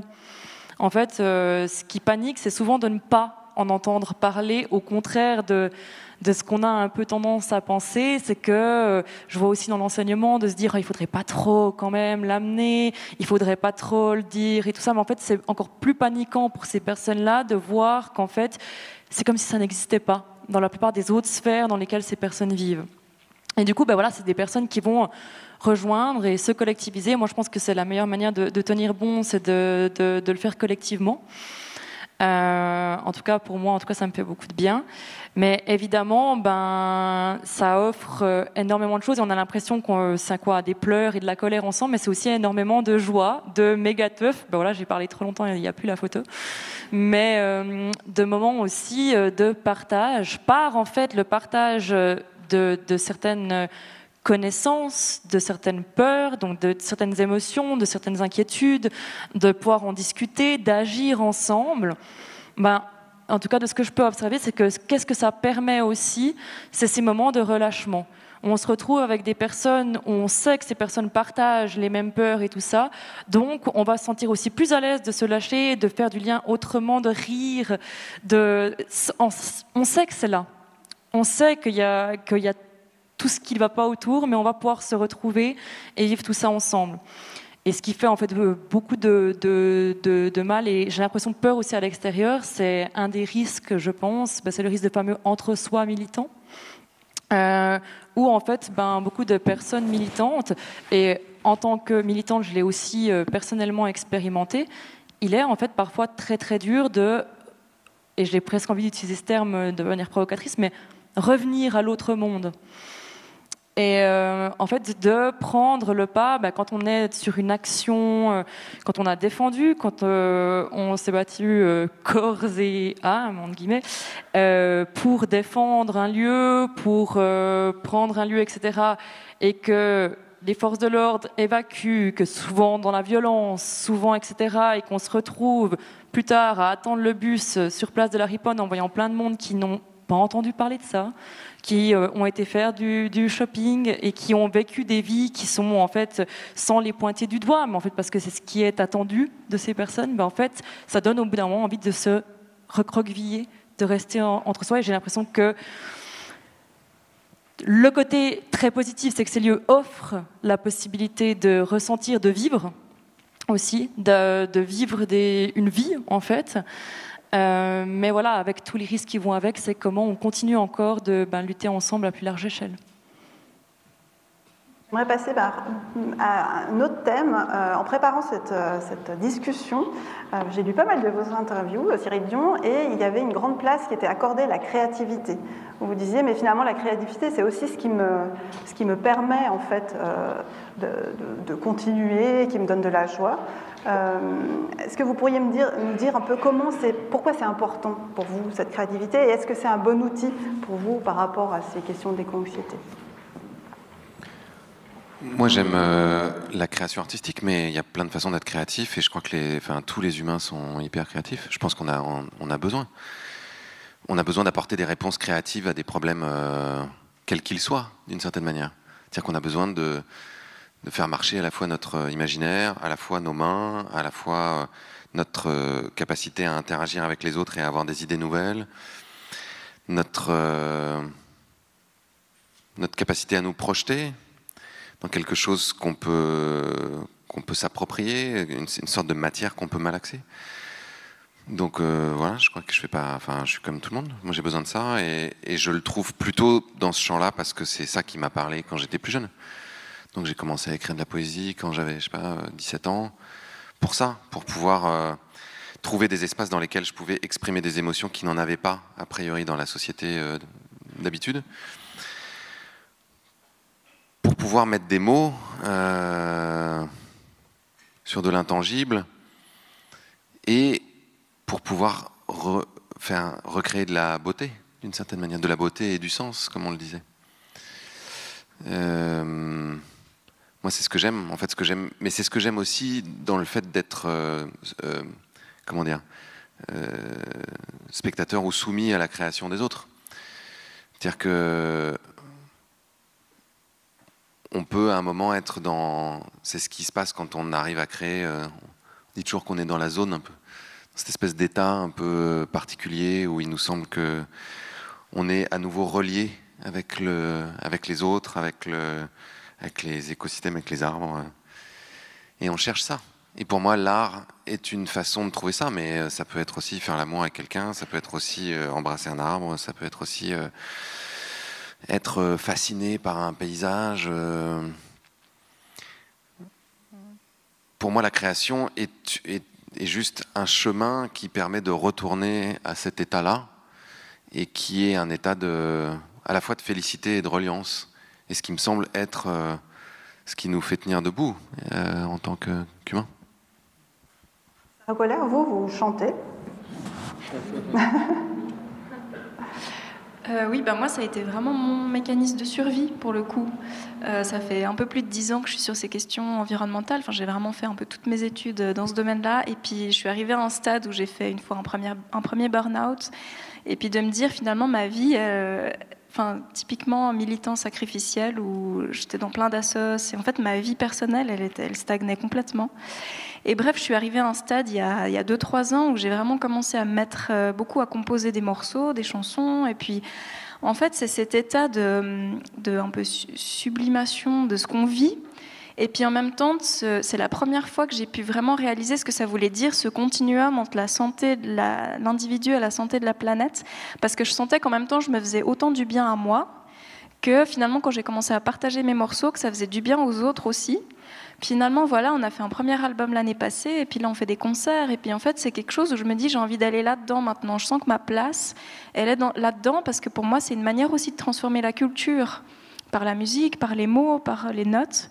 Puis je pense qu'il y a un autre aspect aussi qui est, plus spirituel, si on ose le terme, mais en fait qui est plus une forme d'état de, conscience qui est différente, qui permet de toucher à une forme d'humilité dont on manque beaucoup, je trouve, dans notre société. Euh, parce que moi, quand je compose, j'ai pas les réponses, mais je me mets dans un, je sais pas, il y a un état qui se fait avec les notes, etc qui me fournit en fait des réponses aux questions que je me pose. Et il y a les notes qui tombent, enfin voilà, les, mots qui tombent tout seuls, et ça crée quelque chose de très euh, sacré finalement. Euh, et, je trouve que ça c'est beau. Mais encore une fois, ça peut être dans plein de domaines différents. Mais je sais que moi, en tout cas, c'est ça qui me, qui me porte beaucoup et qui me permet en fait, en même temps, de me ressourcer et en même temps d'agir euh, d'une certaine manière pour la transformation générale de la culture dans laquelle on est. Ça, cette question, enfin, oui. ça me permet de rebondir en fait euh, sur cette question des imaginaires et des futurs. Oui? Pardon, je peux rajouter s'il y en a qui veulent, en fait, on, teste ce vendredi. Si jamais il y a le festival de la transition à Écu Blanc juste à côté, et on va tester une soirée à partir de 19h à l'espace Nicolier, qui est dans l'école, où on est avec un autre groupe et on propose justement des ateliers sur l'éco-anxiété. Enfin, c'est une soirée particulière musique et écologie. Donc voilà, à 19h, toutes les informations sont sur le site, si jamais. Merci. la pub. C'est bien. Moi, j'avais une question. Enfin, on parle de, créativité, on parle de, euh, aussi quelque part de, nouveaux imaginaires, nouveaux récits. Euh, moi, je me posais la question de savoir si finalement, euh, c'était pas important aussi de créer des futurs désirables. On parlait, bah, c'est clair que si le futur qu'on nous propose est catastrophique et qu'il n'y a rien d'intéressant là-dedans, on aura un peu de mal à y aller. Et finalement, le fait de créer ces futurs désirables, d'être créateur finalement de ces futurs, est-ce que c'est pas aussi une bonne piste pour aller travailler sur ces questions d'éco-anxiété? Euh, Cyril Dion, euh, d'après ce que j'ai lu dans les médias, là aussi, vous avez lancé euh, une nouvelle société de production qui s'appelle Newtopia, si je ne me trompe pas, et qui vise à créer ces, ces, nouveaux imaginaires. Pourquoi, en fait, pour vous, c'était important? C'est une réponse aussi à l'éco-anxiété. C'est pas juste que c'est une réponse. Enfin, oui, d'une part, je pense que. C'était ce qui m'animait quand on a fait demain. C'est-à-dire, je me disais, on essaie d'entraîner les gens dans une direction et on leur dit pas où on veut aller. À aucun moment, on, essaie de brosser un paysage de l'avenir. C'est quand même compliqué. Puis c'est compliqué aussi de se dire qu'on va construire une société radicalement différente si on n'est même pas capable d'imaginer à quoi elle ressemblerait. Donc, ça me paraît être un moteur fort.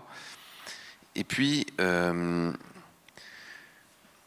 je vois bien que dans l'histoire, et, c'est particulièrement vrai avec le cinéma, mais ça a été vrai pour plein d'autres choses, enfin pour plein d'autres euh, façons de, construire des récits, ces récits-là créent, enfin après c'est la poule ou l'œuf, mais les récits sont constitutifs de nos cultures, vraiment. Et les récits, évidemment, vont avec des imaginaires. Si on se projette euh, après la Deuxième Guerre mondiale, les Américains euh, c'est ce que j'avais dit, je pense, déjà la dernière fois que je suis venu ici, il y a quelques années, ont, participé à créer l'American Way of Life à travers le cinéma. Tout ce qui, enfin, c'est fascinant de regarder, par exemple, comment ça s'est passé pour vendre des cigarettes aux Américains et particulièrement aux Américaines en faisant fumer les actrices les plus célèbres euh, de façon hyper glamour et euh, les habiller en vert euh, et puis faire un paquet de Lucky Strike vert ensuite et, créer cette espèce de, connexion dans le cerveau qui se dit bah oui en fait si, si je veux avoir tout le cool tout le glamour de ça en fait il faut que je fume des clopes. Et en fait tout ça a été déployé sur la grosse voiture l'électroménager, même la cellule familiale, le couple, les valeurs, la morale, Aujourd'hui, on a besoin de créer d'une certaine manière une forme d'ecological way of life qui est tout à fait différent. Et donc, on a besoin que ça soit incarné et que ça soit porté par euh, des récits puissants, des films, des séries, des figures, c'est-à-dire des acteurs, des actrices, des gens à qui on puisse s'identifier, qui incarnent des héros d'un nouveau genre. Sinon, on, continue à être écrasé par cette culture-là et on continue à regarder des, pubs avec... Euh, un mec en train de conduire un, gros SUV euh, sur une route de montagne comme ça, avec une très belle femme à côté de lui, deux enfants qui ne font absolument pas de bruit et absolument pas de miettes sur le siège arrière. Et on se dit, d'accord. Et en fait, donc si j'ai cette voiture, je vais avoir tout ça, là, la, femme comme ça, les enfants qui font pas de miettes et tout ça. Et c'est, enfin, je sais pas vous, mais Aujourd'hui, on a tellement de grilles de lecture pour comprendre, et on voit bien que d'ailleurs les publicitaires sont de plus. Si vous avez regardé des pubs de Coca euh, récemment, ils vous parlent de tout sauf de Coca, quoi. C'est-à-dire, tu vois des gens qui s'aiment, qui s'embrassent, qui se disent des trucs, euh, c'est hyper beau, ils pleurent. Tu te dis, qu'est-ce que c'est que ce truc Et puis à la fin, euh, en fait, il y a une bouteille de Coca, et tu te dis, mais alors, pourquoi Qu'est-ce que cette bouteille de Coca est venue faire là, quoi? Parce qu'en fait. Ils ont compris, par exemple, Coca, ils n'ont plus besoin d'expliquer ce que c'est que du Coca, tout le monde le sait. Donc ce dont ils ont besoin, c'est de transmettre des valeurs, des, symboles qui, nous, créent des associations. Bah, nous aussi, on a besoin de faire ça. C'est-à-dire que pourquoi pas, par exemple, et c'est donc c'est ce qu'on fait avec euh, Newtopia. On a appelé ça Newtopia pour dire euh, on veut sortir de cette espèce de, c'est un peu comme sortir de croissance décroissance et sortir de dystopie utopie pour essayer de créer des nouvelles topies, c'est-à-dire des nouveaux endroits, des nouveaux lieux euh, dans lesquels on puisse penser le monde et l'avenir surtout de façon différente et constructive. Et on se disait, ça peut passer par des histoires, mais ça peut passer aussi par des contextes. C'est-à-dire qu'on pourrait se dire, tiens, on raconte une, on, fait une comédie romantique avec une histoire d'amour, sauf que ça se passe dans un monde où les villes sont totalement végétales, où il n'y a plus une seule voiture, où personne ne mange de viande. Et c'est pas pour dire qu'il faut vivre comme ça, mais simplement ça crée un moment des représentations où on se dit, tiens, ah oui, euh, ça pourrait être comme ça. Ce qui s'était passé par exemple pour 24 euh, heures chrono, là, la série avec euh, Jack Bauer, la City ou tout ça. Là Bon, les plus jeunes, vous connaissez pas, mais euh, les gens qui ont mon âge savent ce que je veux dire. Et pendant les deux premières saisons, le président était noir. Et ils en faisaient pas toute une affaire. C'est juste qu'il était noir, quoi. Et il y a eu un certain nombre d'exégèses qui étaient justes ou pas, j'en sais rien d'ailleurs, parce que je suis pas sûr que les études aient été faites de façon extraordinairement précise, mais qui se demandaient si quand Obama a été élu, il n'y avait pas eu une forme d'accoutumance, parce qu'il y avait 45 millions d'Américains qui regardaient ça tous les jeudis sur HBO et qui s'était habitué juste à, cette image-là, au fait que le président puisse être noir. Et donc quand à un moment un candidat se présente pour euh, être président des États-Unis et qu'il est noir, on se dit, bah oui, pourquoi pas. Et donc tout ça, euh, aujourd'hui, je pense que ça doit être porté, ça peut être porté par plein d'arts, mais majoritairement par le cinéma et par les séries, parce que parce que c'est ce qui est le plus puissant. Là, on est dans une société de l'image, on passe notre temps devant des écrans. Euh, et puis, c'est des, des, supports très puissants parce que ça parle à tous les étages. C'est-à-dire qu'un film ou une série, euh, ça va activer à la fois une dimension purement esthétique, à la fois des dimensions d'identification, à la fois des choses qui sont très cérébrales, de compréhension, à la fois des choses qui sont très émotionnelles, euh, à la fois des choses qui sont de l'ordre de la dramaturgie et donc de la, de la recherche de sens, à la fois des choses qui passent par la musique, à la fois des choses qui passent par... Euh, par, euh, oui, par des, par des très belles images. Donc par des montages, bon bref. Donc c'est un, une sorte d'art total un peu qui, qui, vient activer plein de zones. Et c'est pas pour rien que c'est aussi puissant, je pense. Célia de, Pietro, vous, avez lancé avec, euh, je me pousse, vous avez lancé avec d'autres doctorants, euh, doctorantes l'Observatoire des récits et des imaginaires de l'Anthropocène, donc l'ORIA, euh, qui travaille justement sur ces, questions d'imaginaire, de, récit.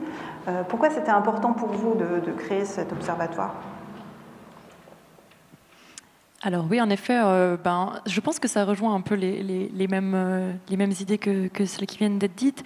Donc on a, on a créé à plusieurs, notamment Colin, Darius, Sarah aussi, enfin voilà, ben, cet observatoire euh, à la base, il y avait beaucoup une, réponse à une, envie qui venait du, terrain. Donc, euh, le, enfin, en tout cas, moi, quand j'ai rejoint le, projet, j'étais pas à la base, base, mais quand je l'ai rejoint, il y avait une envie de euh, la ZAD de la colline du Mormon, qui, voilà, l'évacuation était imminente. Et euh, il, y avait le, y a eu une forme d'appel à en fait euh, garder le plus de, traces possible de ce que était la ZAD et euh, de, de, enfin voilà, un, appel général à garder ces traces. et en fait, il y avait vraiment cette idée de ben voilà comment en tant que chercheuse on se mobilise pour aussi travailler de manière avec à la fois des activistes, mais aussi avec les différents arts.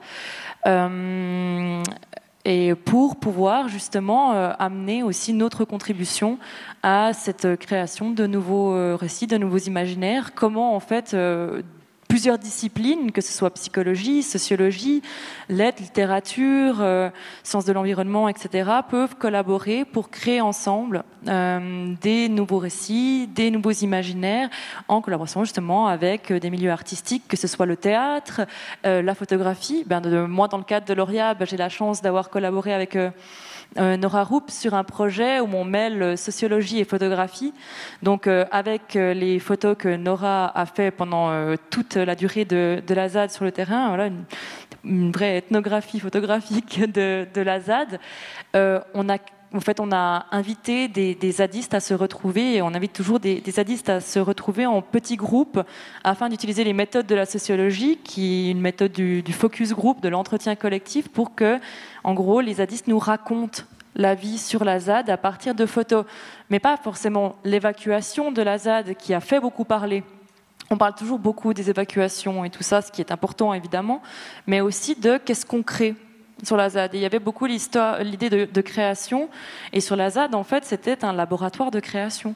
Vraiment, quand on, quand on s'y rendait, en fait, ben, aussi de, vivre euh, autrement, de, créer et de, vivre en créant aussi. Mais il y avait des, toboggans qui sortaient des fenêtres pour descendre. Euh, des, et j'ai adoré, euh, il y a une personne zadiste qui nous avait dit que justement c'était l'idée d'un peu aussi décaler la beauté qu'est-ce que la beauté? Et au final, quand on construit une cabane qui tient à peine debout, qui a aucun angle droit, et puis mais qui tient en fait, et dans laquelle on peut dormir et on est bien, ben c'est beau en fait, et ça nous permet de, vivre tout ça. Donc euh, donc voilà, en fait, cet observatoire, il a aussi beaucoup euh, comme, comme, comme idée de faire justement travailler plusieurs formes d'intelligence, euh, que ce soit intelligence militante, artistique, euh, euh, scientifique, etc., bah, pour essayer de, concevoir des nouveaux imaginaires, des nouveaux récits, parce qu'en effet, ben, sans ça, sans ça, on, veut déconstruire, on veut détruire un système en place, mais qu'est-ce qu'on met derrière? Qu'est-ce qu'on a envie? En fait, comment on veut vivre derrière? Et il est très très important qu'en parallèle de lutter, on se pose cette question-là, en fait. Merci beaucoup. Je vous propose qu'on passe à la deuxième partie de cette table ronde qui fait un focus en fait sur la question des jeunes, euh, des adolescents et, euh, euh, de voir en fait comment aborder ces questions avec les jeunes. On a vu qu'émotionnellement, ce sont des enjeux qui sont, qui sont lourds. Euh, d'un côté, on serait tendance à, à avoir les jeunes et ne pas en parler, euh, ou au contraire de se dire bah, comment en parler, comment avoir le, ton juste, euh, qu'est-ce qu'il faut dire, qu'est-ce qu'il ne faut pas dire. et pour cette seconde partie, j'aimerais inviter Grégoire Zimmermann à nous rejoindre. Grégoire Zimmermann est professeur au Centre de recherche sur la famille et le développement de l'Institut de psychologie, et vous êtes spécialiste de la psychologie de l'adolescent et de la relation parent-adolescent. Euh, donc, comme l'a dit euh, Benoît Frein, vous organisez une journée de recherche demain euh, qui s'intitule Votre futur sera notre. non, je vais y arriver. Votre futur sera mon présent, jeunesse et réchauffement climatique. Est-ce que déjà vous pouvez nous dire, en tant que spécialiste d'adolescence, pourquoi c'est une période si particulière, l'adolescence, et à quoi faudrait faire attention Vaste question, euh, alors que j'entends le bourdonnement des questions dans l'audience qui a envie de poser des questions à Cyril Dion, donc je vais essayer d'être bref. Euh, l'adolescence, bon, on sait tous à peu près ce que c'est. C'est cette période de transition entre deux états, l'état enfant et l'état d'adulte, sans pour autant qu'on sache, euh, comme développementaliste, très bien définir euh, en particulier ce qu'on entend par l'âge adulte. Aujourd'hui, on sait que ça dure de plus en plus longtemps, en tout cas dans nos sociétés occidentales. Et puis, moi, je suis développementaliste, donc je considère que l'adolescence, elle est définie par des tâches développementales que chaque individu en Occident, hein, je n'aurais pas là, il faut rester humble sur nos connaissances scientifiques, doit, devrait affronter. Il s'agit pour euh, l'individu adolescente-adolescente de s'émanciper euh, de son environnement familial, donc de se séparer. C'est la question de l'indépendance qui est importante pour nous, développementalistes. Une question encore plus importante qu'on confond souvent avec l'indépendance, c'est la question de l'autonomie. C'est le moment de la vie où on doit définir Hein, et là, je pense que les imaginaires, les récits collectifs sont extrêmement importants. On va devoir définir quelles sont ses valeurs, ses croyances. Et il y a une troisième question qui est, centrale, qui est bien évidemment associée aux deux précédentes, c'est la question identitaire. À l'adolescence, on fait le tour du propriétaire. D'où est-ce que je viens? Qui je suis? Qu'est-ce que j'ai dans le ventre? Qu'est-ce que je veux devenir?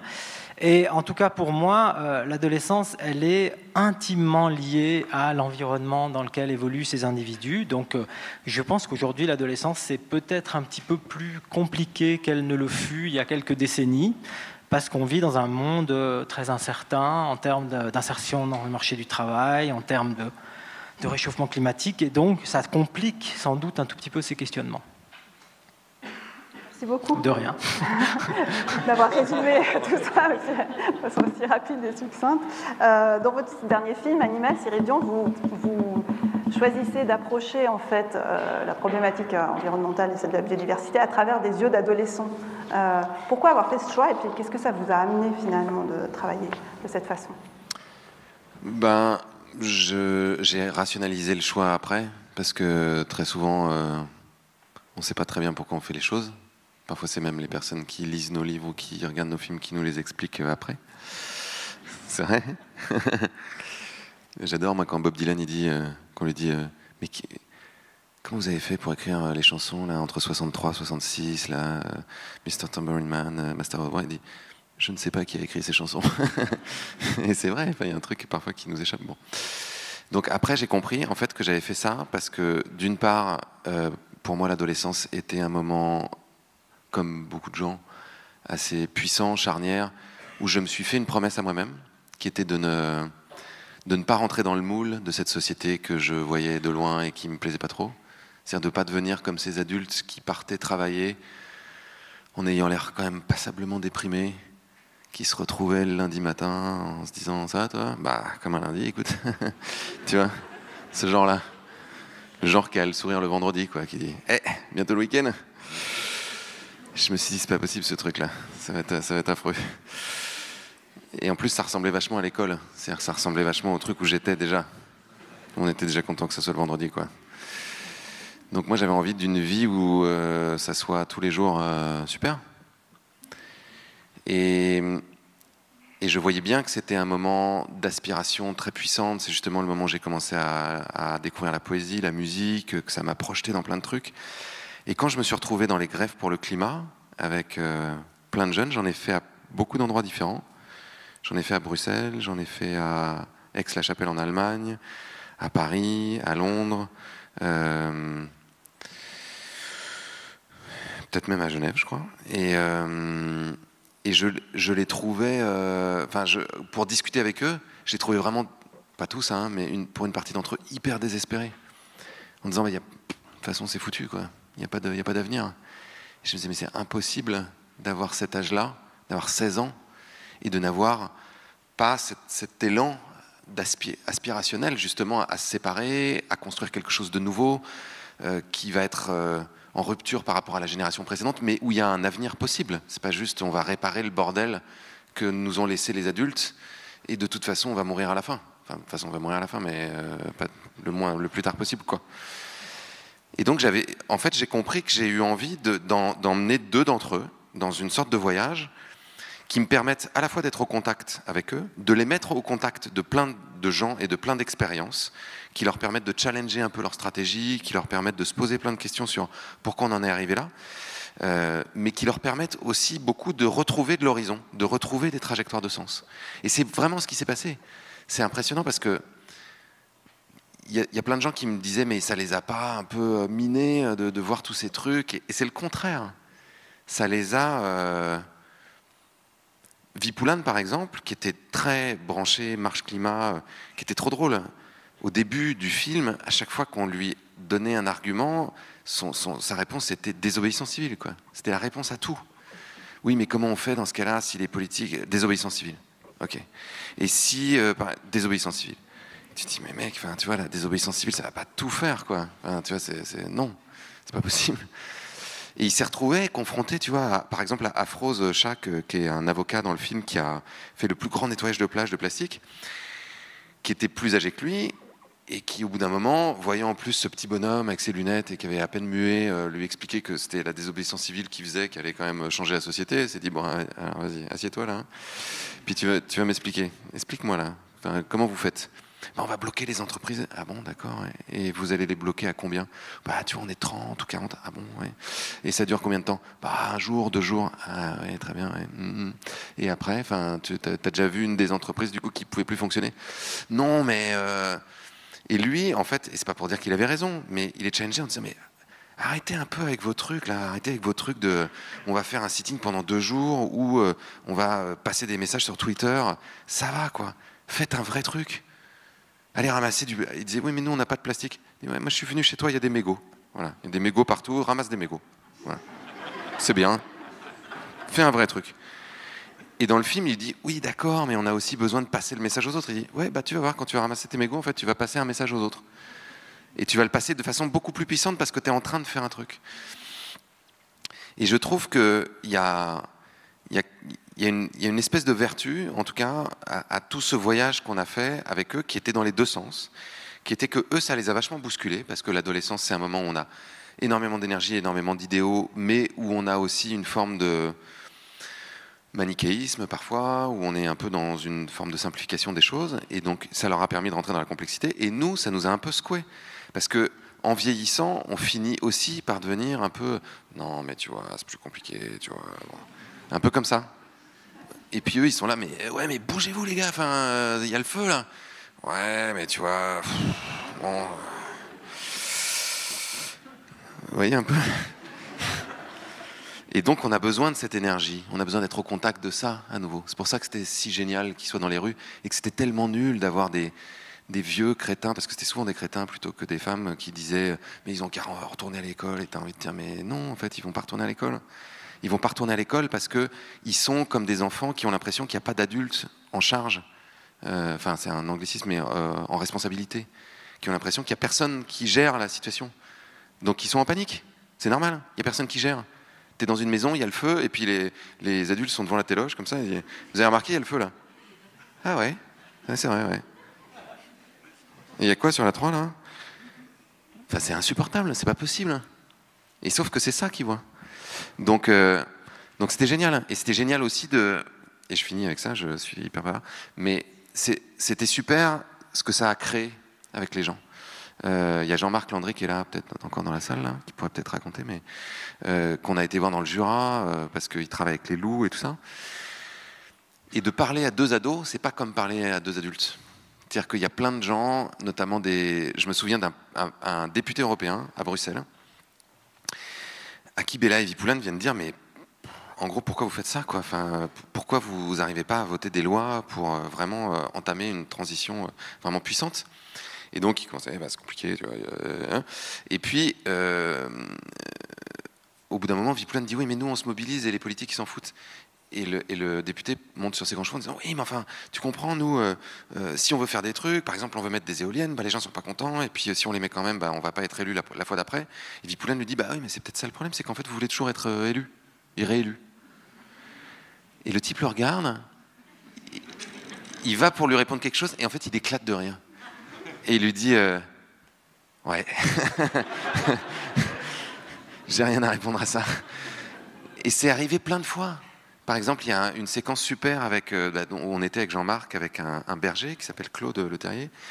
Et à un moment, Bella se rend compte qu'il a une relation super avec ses vaches, qu'il a un carnet, qu'il a des noms pour chaque vache, qu'il les reconnaît à la façon dont elle, elle dresse les oreilles, etc.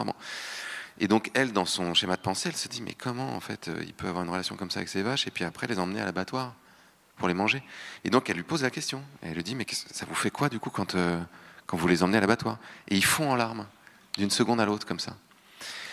Et cette relation-là, qui est une relation à la fois de simplicité, parfois de naïveté, et, qui les obligeait, eux, à sortir d'une forme de zone de confort, où à nous, ils nous auraient un peu bullshité, là, à nous expliquer des trucs. Mais en fait, quand tu es avec deux ados qui ont 16 ans, qui ont l'air d'en avoir 14, tu peux moins faire ça. Bah, ça a créé des situations formidables, notamment avec notre éleveur de lapins et tout ça. Et puis, pour les spectateurs, vous l'avez vu, hein. des belles scènes de comédie quand, quand lui dit Mais pourquoi vous faites un, métier pareil Il dit Mais c'est la passion. Vipoulen dit Mais c'est quand même pas une passion d'élever les animaux comme ça. Ou quand Laurent dit euh, On lui dit Mais tu trouves vraiment qu'ils vivent dans les bonnes conditions là? Ouais, ouais, enfin, la température est bonne, l'ambiance est très bonne. l'ambiance est très bonne.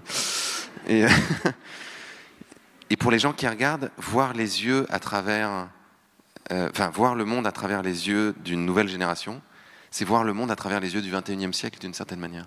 C'est déjà avoir une autre forme de regard que celui qu'on peut avoir nous, parce qu'on passe par leurs yeux. C'est le, procédé du film. Et ça aussi, ça crée autre chose. Voilà. Bon, il y avait plein de raisons, quoi. Merci beaucoup. Je me pose la question, j'aimerais la poser à Grégoire Zimmermann, c'est comment, de votre point de vue, vous, il faudrait aborder ces enjeux avec, euh, les jeunes? Comment il faudrait l'aborder en termes de contenu, qu'est-ce qu'il faudrait leur dire finalement, et, et au terme de ton, est-ce qu'il faudrait être hyper positif, est-ce qu'il faudrait être réaliste Quels seraient vos conseils? Oh là là. Euh, bah, en tout cas, je pense qu'il faut aborder cette question. Parce que de toute façon, si on ne l'aborde pas en famille, euh, ils y seront confrontés en dehors de la famille. Donc, euh, je pense que c'est une très mauvaise idée d'en faire un sujet tabou, par exemple. Mais évidemment, il y a autant de familles que de que d'adolescents et d'adolescentes. Il y a des parents qui sont peu sensibles à ces questions-là. Des données en Suisse nous montrent quand même, hein, ils ne sont pas tous comme Vipulan et, Bella. Il y a un tiers, un quart des adolescents et des adolescentes qui sont très peu préoccupés à la fois par la perte de biodiversité et euh, par les enjeux du réchauffement climatique. Donc euh, on peut imaginer qu'ils ne sont pas socialisés non plus à ces questions-là. Mais, mais, globalement, ah, il faut leur en parler, il, faut leur en parler le plus sincèrement possible, sans nécessairement euh, en faire trop ou les alarmer. Je pense qu'il faut surtout accueillir ce que ça leur fait euh, accueillir ce que ça leur fait, et ensuite, alors là je rejoins euh, Cyril Dion, euh, être, être présent, ne pas démissionner de son rôle et les accompagner dans, dans, l'action. Et c'est vrai que c'est horrible que d'être confronté à 15-16 ans et d'avoir l'impression qu'il y a une génération d'adultes qui passe d'un épisode Netflix à l'autre alors que la maison brûle. Ça, je pense, c'est le plus, le plus terrible pour un, jeune. Donc, euh, je pense qu'il y a un enjeu, et, c'est un de mes doctorants qui travaille là-dessus, d'interdépendance, d'intergénérationnel. Il ne faut pas mettre les générations euh, les unes contre les autres. Et il y a effectivement beaucoup de parents aujourd'hui qui, qui sont un petit peu attaqués par leurs ados en disant mais qu'est-ce que vous avez foutu euh, euh, et puis, euh, ben, nous, on a aussi envie de profiter de notre part du gâteau. Ça m'a frappé dans votre bouquin, euh, Petit manuel de résistance. Sauf erreur, vous évoquez des conférences dans des, dans des collèges où, des ados vous répondent à quoi, à quoi rêvez-vous? Et puis, il y, a plein d'ados qui disent ben, Moi, je rêve de faire de l'argent. Donc, je, je pense qu'effectivement, dans la question identitaire, dans cette projection vers l'avenir, je, me réjouis, je pense que c'est un enjeu majeur que de créer des, nouveaux imaginaires, de, créer des nouveaux euh, objets culturels qui parlent à la jeunesse, parce que l'adolescence, c'est pas que la puberté, c'est pas un événement physiologique. Hein. Moi, vraiment, je me, je, m'éloigne de cette vision très euh, uniquement biologisante de l'adolescence. L'adolescence, en Occident, elle est née avec la culture adolescente, et en particulier avec le cinéma américain, les teen movies, qui ont construit euh, ce que nous concevons comme étant l'adolescence aujourd'hui. Donc je pense qu'il faut créer des objets culturels à destination de la jeunesse, des adolescents, des adolescentes, qui leur euh, font envie. Hein, moi, je me réjouirais du jour où mon fils regarde d'autres youtubeurs et instagrammeurs que ceux et celles qu'il regarde actuellement. Parce que là, c'est. Euh, c'est pas très réjouissant, voilà. Mais, mais qu'est-ce que vous voulez que je vous dise? Donc, parce qu'il n'y en a pas d'autres. Euh, donc il faut être sincère, honnête, euh, répondre à leurs angoisses et les inviter à l'action en étant, en soutenant ces actions. Voilà. Et si on est enseignant, qu'est-ce qu'il faudrait, enfin, au niveau du ton aussi, comment il faudrait aborder ces enjeux? Je, je suis hyper content parce que d'habitude c'est à moi qu'on dit toujours et comment il faut faire? Et comment il faut faire? Et là, je pense que Cyril Dion a un avis euh, à ce sujet. Mais j'adresse la question aussi au reste des, des intervenants. Comment vous feriez alors bah, En tout cas, pas sur le ton culpabilisant, parce que de nouveau, il y a une diversité d'adolescents et d'adolescentes. Il, y en a qui sont peu sensibles. Moi, moi je, dois, je dois me battre moi-même avec ces sentiments-là. C'est-à-dire que moi, je suis euh, éco-anxieux, je pense. Euh, j'essaie de me dire que je suis plutôt lucide en suivant la, proposition d'Aurélien Barrault. Et je suis très en colère. C'est-à-dire que j'aimerais que tout le monde adhère à, à cela. Euh, et donc, euh, en, transposant ça à la situation des enseignants, je pense et des parents, il faut être euh, ouvert à cette diversité, ouvert au dialogue, au débat, accepter que d'autres ne pensent pas comme nous, ne sont pas encore à ce point de, réflexion. Donc, donc, je pense qu'en enseignant, il faut être ouvert à cette diversité de points de vue et pas vouloir non plus faire peur et culpabiliser l'individu. Qu'on soit ado ou, adulte, culpabiliser les individus, ça marche pas.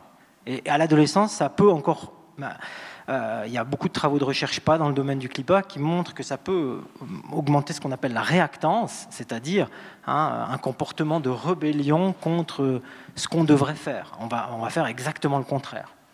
Donc euh, voilà, en tout cas, être ouvert aussi à cette diversité de points de vue. Hmm. Merci beaucoup. Je vous propose qu'on passe à la partie des questions du public. normalement, il va y avoir deux micros qui vont passer dans la salle. Donc peut-être euh, levez-vous ou signalez-vous avec euh, la main pour qu'on puisse vous poser euh, ces questions. Guillermo. Euh, je ne sais, pas où sont les micros. Ils sont partis. Ah, pardon. J'étais trop rapide. Il y avait une première question là. Peut-être je vous laisse vous présenter aussi. Voilà.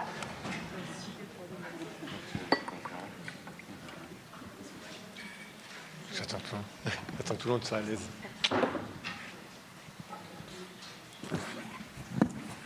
Bon, on veut des questions bien. Hein. Enfin, pas des ah. questions reloues. Hein. Faites un effort, quoi. Faites un effort. Ok. Faites pas genre. Et comment on fait? Bon, allez, je commence. Guillermo Fernandez.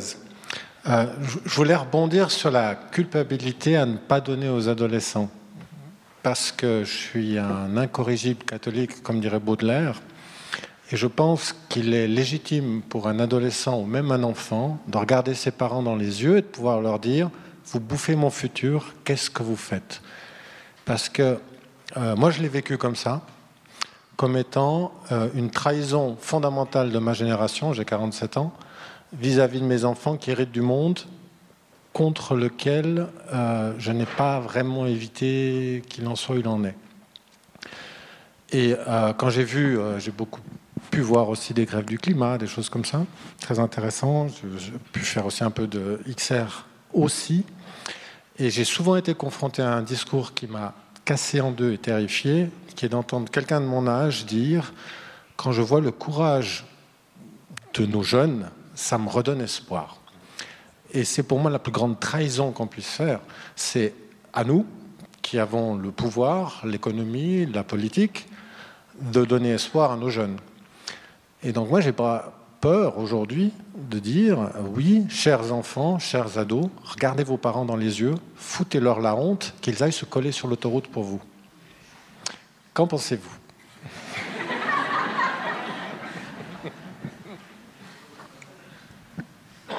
Je peux peut-être dire euh, merci pour euh, ce témoignage, c'est quelque chose qui est énormément vécu comme ça sur euh, les actions au sein d'Extinction Rebellion.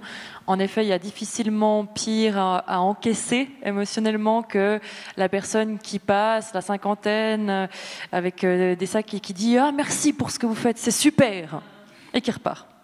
Et il y a quelque chose de l'ordre, enfin, j'ai vraiment vécu des situations comme ça où le premier élan est un sourire, un, un, et la personne part, il y a une sorte de de silence comme ça, de, une forme de sidération de mais qu'est-ce qui vient de se passer en fait? C'est quelque chose qui est assez vécu, j'ai l'impression comme ça aussi par les jeunes, que je côtoie en tout cas. Euh, pareil, euh, ils détestent qu'on leur dise euh, ah, c'est vous qui allez vraiment être la solution, c'est grâce à vous que tout ça va changer. c'est vrai que ces gens, c'est la double peine. déjà, tu me laisses toute la merde, et après, c'est moi qui dois la gérer. Ah d'accord, génial. Donc, oui, en tout cas, je pense que les. Enfin, c'est légitime que les ados euh, secouent leurs adultes, effectivement. Enfin, les adultes les confrontent à leurs responsabilités, bien sûr. Mais il y a quand même quelque chose, c'est ce que j'essayais de dire tout à l'heure, qui est fécond dans ce, dans ce dialogue. Parce qu'ils ont aussi besoin d'être euh, accompagnés. Ils ont aussi besoin d'être sécurisés encore. Ils ont besoin d'être. Euh, enfin, moi, j'ai deux ados qui ont 14 et 17. Ils n'ont pas fini de cuire hein, encore. Non, mais c'est vrai. Donc euh, il y a des moments, ils, se prennent des montées là, puis ils me parlent comme si euh, ils avaient tout compris là, ça y est. Euh. mais en fait non, ils n'ont pas tout compris. Et ils ont compris des choses que parfois moi j'ai pas compris, ou ils vont me confronter à des choses auxquelles j'ai besoin de me confronter. Mais ils ont aussi besoin d'entendre ce que moi j'ai à dire. Et, et, on a besoin de trouver un terrain sur lequel justement on peut s'enrichir mutuellement et on peut entamer une forme de coopération. C'est ça qui devrait se passer aujourd'hui. C'est-à-dire que si on vivait dans un monde qui n'est pas complètement qui marche pas complètement sur la tête. Les responsables politiques qui ont reçu Greta, qui ont reçu Adélaïde, euh, Louisa, euh, Camille en France, auraient dû essayer de leur dire venez travailler avec nous, c'est-à-dire venez nous secouer, euh, venez mettre en œuvre un certain nombre de choses, venez nous dire là où, il vous semble qu'il faut vraiment radicalement qu'on tourne, et nous, on va aussi vous dire des choses sur la complexité du système politique, sur l'inertie de l'administration, sur euh, le fait que les décisions publiques sont aujourd'hui majoritairement orientées par des intérêts économiques. Quand j'emmène Bella et Vipoulane au, Parlement européen, c'est ça. Hein enfin, je veux dire, ils tombent de leur chaise. Et c'est là où tu te dis, bah, c'est bien les, aller marcher, tu vois, c'est intéressant, mais quand tu vois comment ça se passe dans les coulisses de Bruxelles, tu te rends bien compte qu'aller marcher, ça peut pas suffire. Donc ils ont besoin de se confronter à cette réalité-là. Et ils ont besoin d'avoir des adultes bienveillants euh, qui les accompagnent là-dedans et qui sont aussi capables de se remettre en question eux. Si, je peux me permettre, je ne voyais pas si loin que d'aller au Parlement européen. Hein. Je, parlais réellement dans le foyer. Parce que mon expérience personnelle, et j'espère qu'elle est partagée par la plupart des parents qui aiment vaguement leurs enfants, c'est que c'est une discussion insoutenable, si on est honnête, de dire effectivement, je suis ton père, j'en ai trois, et euh, tout part en sucette, et je ne suis pas activement en train de l'empêcher. Il, y, a une prise de responsabilité du simple fait d'admettre devant ses enfants que la situation existe. Et euh, c'est typiquement le discours que j'ai choisi de prendre avec la plupart des jeunes auxquels je suis confronté, ce qui m'a aussi valu un burn-out d'ailleurs pour le coup, mais c'est de leur dire, avant d'aller dans la rue, foutez la honte à vos parents, en vrai. C'est eux qui vont voter.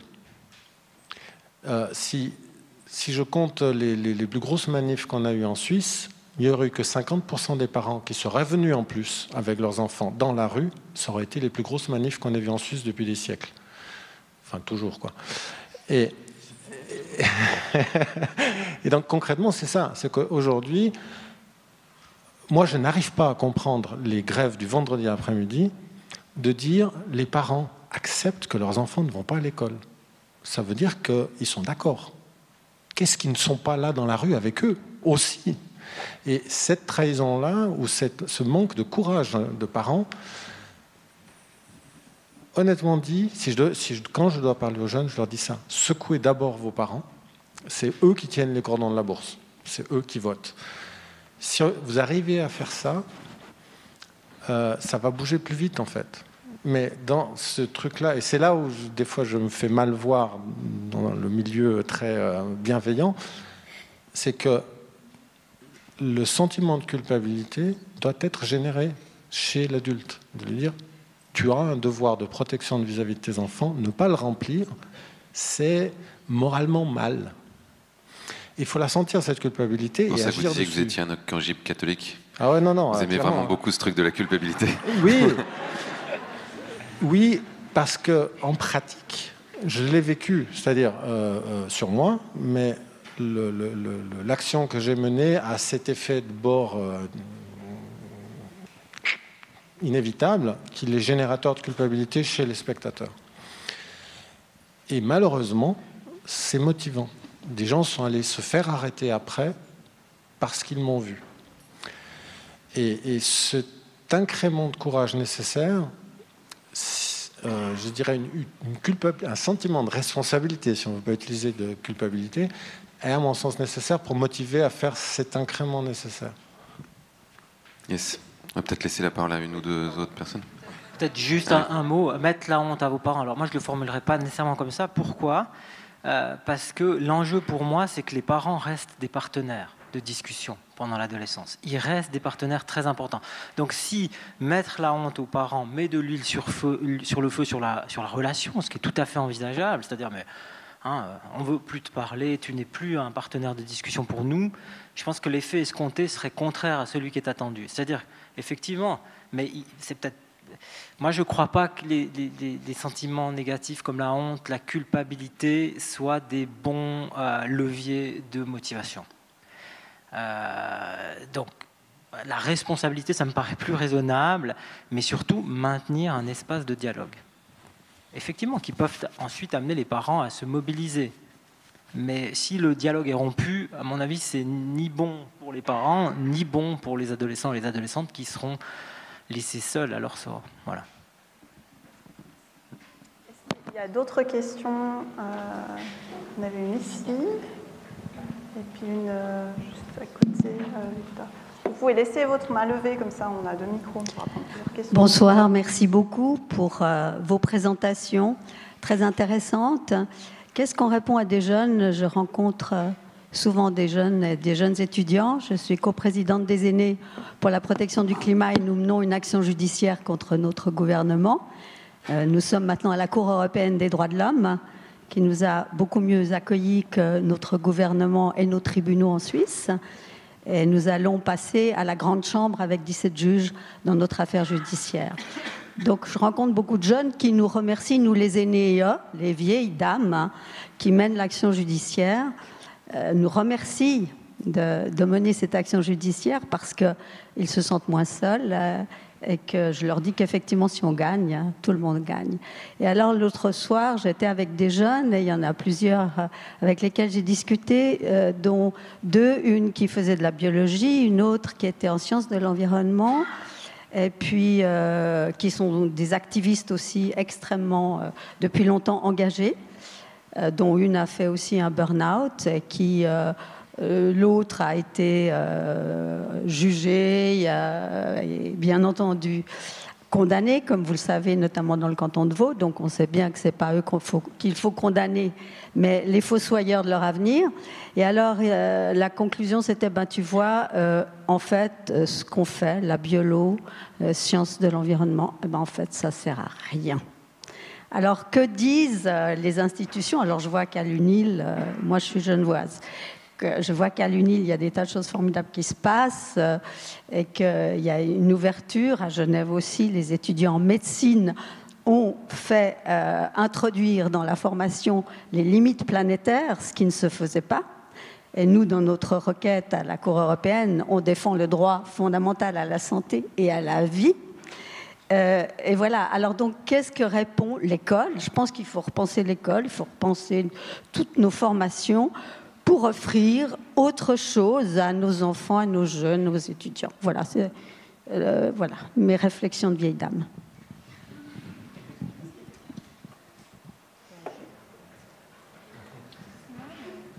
Non, mais ça me fait penser à ce qui se passe au centre de compétences en durabilité, dans tout le volet formation qui est en train d'évoluer. Mais ça, peut-être toi, tu es plus, mieux placé pour, pour exprimer. Donc c'est en train de changer. Il y a des changements en profondeur qui s'opèrent aujourd'hui, en tout cas à l'Université de Lausanne.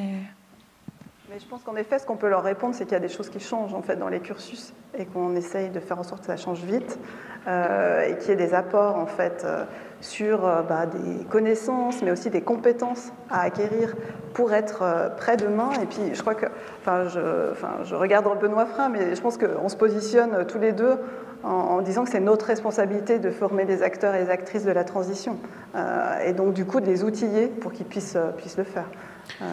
Mais ce, qui est, ce qui est bien aussi, c'est de, de c'est ce qu'on disait tout à l'heure, c'est de les écouter. Enfin, moi, je vois par exemple dans plein d'écoles d'agro, les formations ont commencé à évoluer parce que c'était les étudiants eux-mêmes qui disaient bon ça va les tracteurs et euh, les pesticides tu vois on a compris là. Donc est-ce qu'on peut avoir une formation sur le sol? Est-ce qu'on peut avoir des formations sur l'agroforesterie? Est-ce qu'on peut avoir des formations sur la permaculture et à force ils ont fait venir des intervenants extérieurs puis euh, deux puis trois puis quatre et puis ils ont fini par avoir un cours et dans tout un tas d'autres, enfin que ce soit la, biologie ou que ce soit d'autres formations, c'est pareil. Il y a plein d'étudiants qui sont demandeurs de ça dans les écoles de commerce, c'est pareil. Tous les étudiants là d'école de commerce qui ont, fait ce manifeste il y a quelques années pour en dire euh, nous n'irons plus travailler chez vous, euh, on n'ira plus travailler dans telle et telle entreprise parce que euh, pour nous, il faut que ça ait du sens et c'est pas parce que vous allez nous payer 100 000 balles par an que ça nous intéressera. Bah, eux, dans leurs écoles de commerce, ils ont aussi envie qu'on leur parle d'économie circulaire, d'économie symbiotique, euh, de, la théorie du donut, euh, de comment on réinvente l'économie, pas simplement de Keynes et de Milton et de Friedman, et tout ça. Je ne sais pas s'il y avait une autre, je crois qu'il y avait déjà une autre question, euh, puis il y en a une après derrière.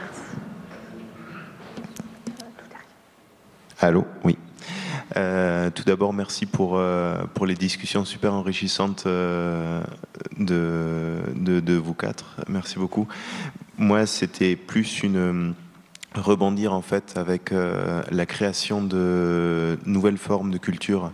Il y a aussi et ça va de pair en fait une, une recréation du mode de communication entre, ben, entre toutes les générations et entre et entre tous, en fait, tout un, chacun et chacune. Et euh, j'ai perdu un petit peu foi en euh, la, politique globale, et je pense qu'il y a beaucoup à faire au niveau du local, mais comme justement tu venais juste de le dire sur les économies locales et sur les, groupes de, de, personnes, et, je pense que c'est un, un, axe aussi qu'il faudrait, qu'il faudrait envisager. Voilà, c'est tout. Merci. Question, je crois, juste derrière, euh, Victor, si jamais. Et puis une question ici. Euh. Je me lève. Euh, c'est pas exactement une question. Euh, ça m'aurait étonné, ça. Mais ça va. J'espère que je vais arriver à dire les choses. Je sais pas. C'est un, un témoignage. Euh, moi, je suis profondément, euh, intimement chamboulée par, je ne sais même pas comment décrire euh, ce qui se passe. Je suis chamboulée dans des valeurs que j'ai construites depuis que je suis petite, des rêves que j'ai depuis que je suis petite des choses où je me suis construite, j'ai voulu être ça, j'ai voulu être ça, et maintenant je ne sais plus. Euh, je, mais c'est bien, hein. à la fin je vais dire que c'est bien. Euh, par exemple, je suis actrice euh, depuis quelque temps, je supporte plus ce qu'on demande aux femmes actrices, je supporte plus ce qu'on demande aux personnages féminins d'être, et c'est physique, je peux plus. Je peux plus vivre à l'endroit où je vis. Je suis obligée de m'en aller tout le temps. Euh, et bizarrement, parce que la question c'était euh, comment on tient bon? Et on leur on parle des, autres et tout ça, donc je me dis peut-être je peux essayer de. C'est quand même une expérience qu'on vit tous euh, intimement, secrètement et plus ou moins bien, quoi. et donc du coup, depuis que je vis mal, ce pourquoi je pensais que je vivais, eh ben, je découvre euh, des autres relations aux autres. Euh, je vais beaucoup dans des endroits où je n'allais pas. Euh, il y a des choses qui me sont insupportables et d'autres qui me deviennent. avec lesquelles je peux, je peux pas vivre sans. Et je ne pensais pas que ces choses-là seraient importantes pour moi. Donc c'était peut-être pour dire, des fois tenir bon, peut-être c'est lâcher aussi.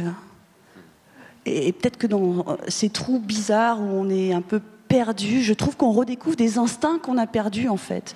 Que aussi, peut-être cette période, c'est aussi redécouvrir euh, euh, comme des parties, parties, de soi que moi j'avais l'impression qu'on m'avait volé. Et peut-être qu'il y a quelque chose en lien, enfin peut-être que Sarah, elle, elle, en parlera mieux que moi, mais en retrouvant des choses qu'on nous a volées, moi, ça m'amène à un contact différent avec la nature, avec les autres, avec qui je suis. Et du coup, peut-être que, je ne sais pas que l'écologie, ça passe aussi par là, je ne sais pas. Voilà.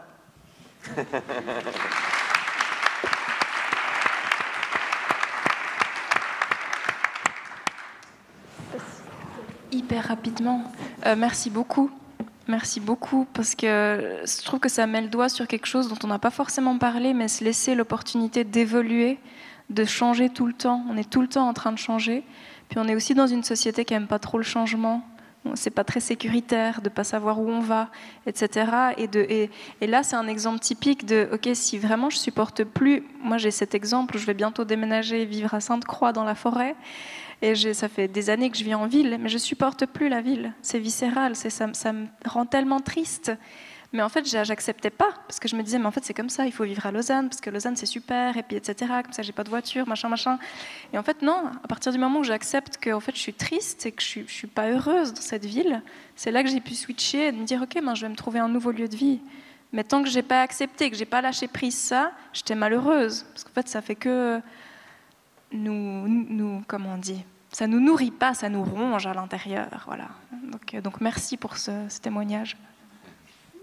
Je crois qu'il y avait une autre. Oui, je voulais. Je voulais revenir sur la, la, question comment tenir bon quand on se trouve dans une situation, quand on est activiste et qu'on se trouve dans une situation comme elle est illustrée dans le film une fois, lorsqu'on voit ce commissaire européen euh, aux questions de la pêche et qui, euh, à plusieurs reprises, vraiment tourne ostensiblement le dos à ces deux jeunes. Et en fait, quand on est activiste, ce qui est, ce qui est mimé corporellement là dans cette scène, on a affaire souvent à ça. Euh, il y a une explication qui est donnée un petit peu dans le film en disant ben, ben oui, il y a des lobbies, il y a des lobbies de, des ONG, il y a des lobbies, mais, mais ils font pas le poids parce qu'ils n'ont pas la même puissance.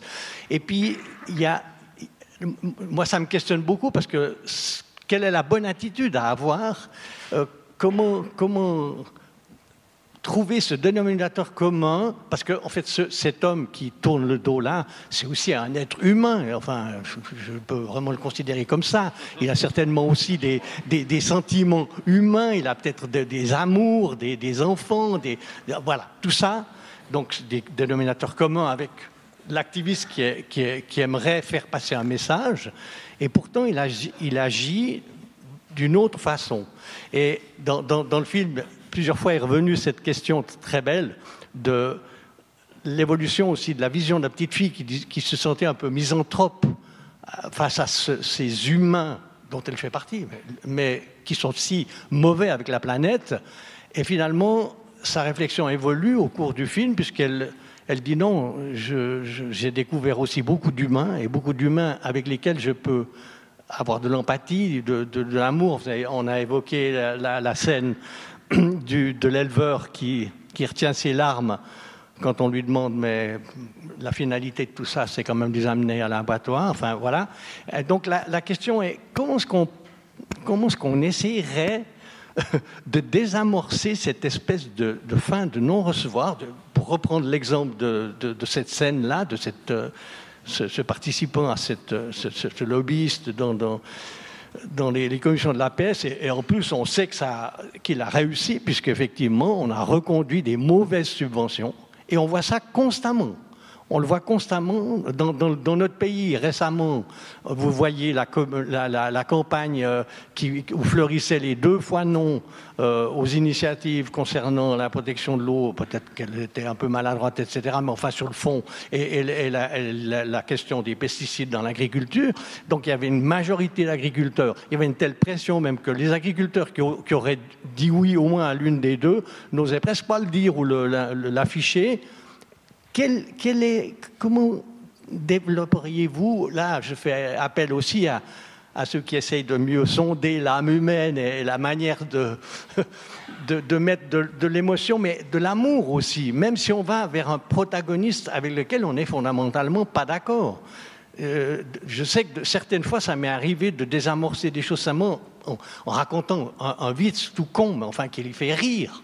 Alors si on, arrive à faire ça, mais, mais je trouve c'est difficile. Comment, comment prolonger, par exemple, la scène? On se dit, mais ce, ce, gars-là, si, si Cyril Dion voulait faire un, prolonger le, le, documentaire sur, euh, ben voilà, comment ça se passe, ce monsieur? Comment il fonctionne? Pourquoi est-ce qu'il agit comme ça? Voilà.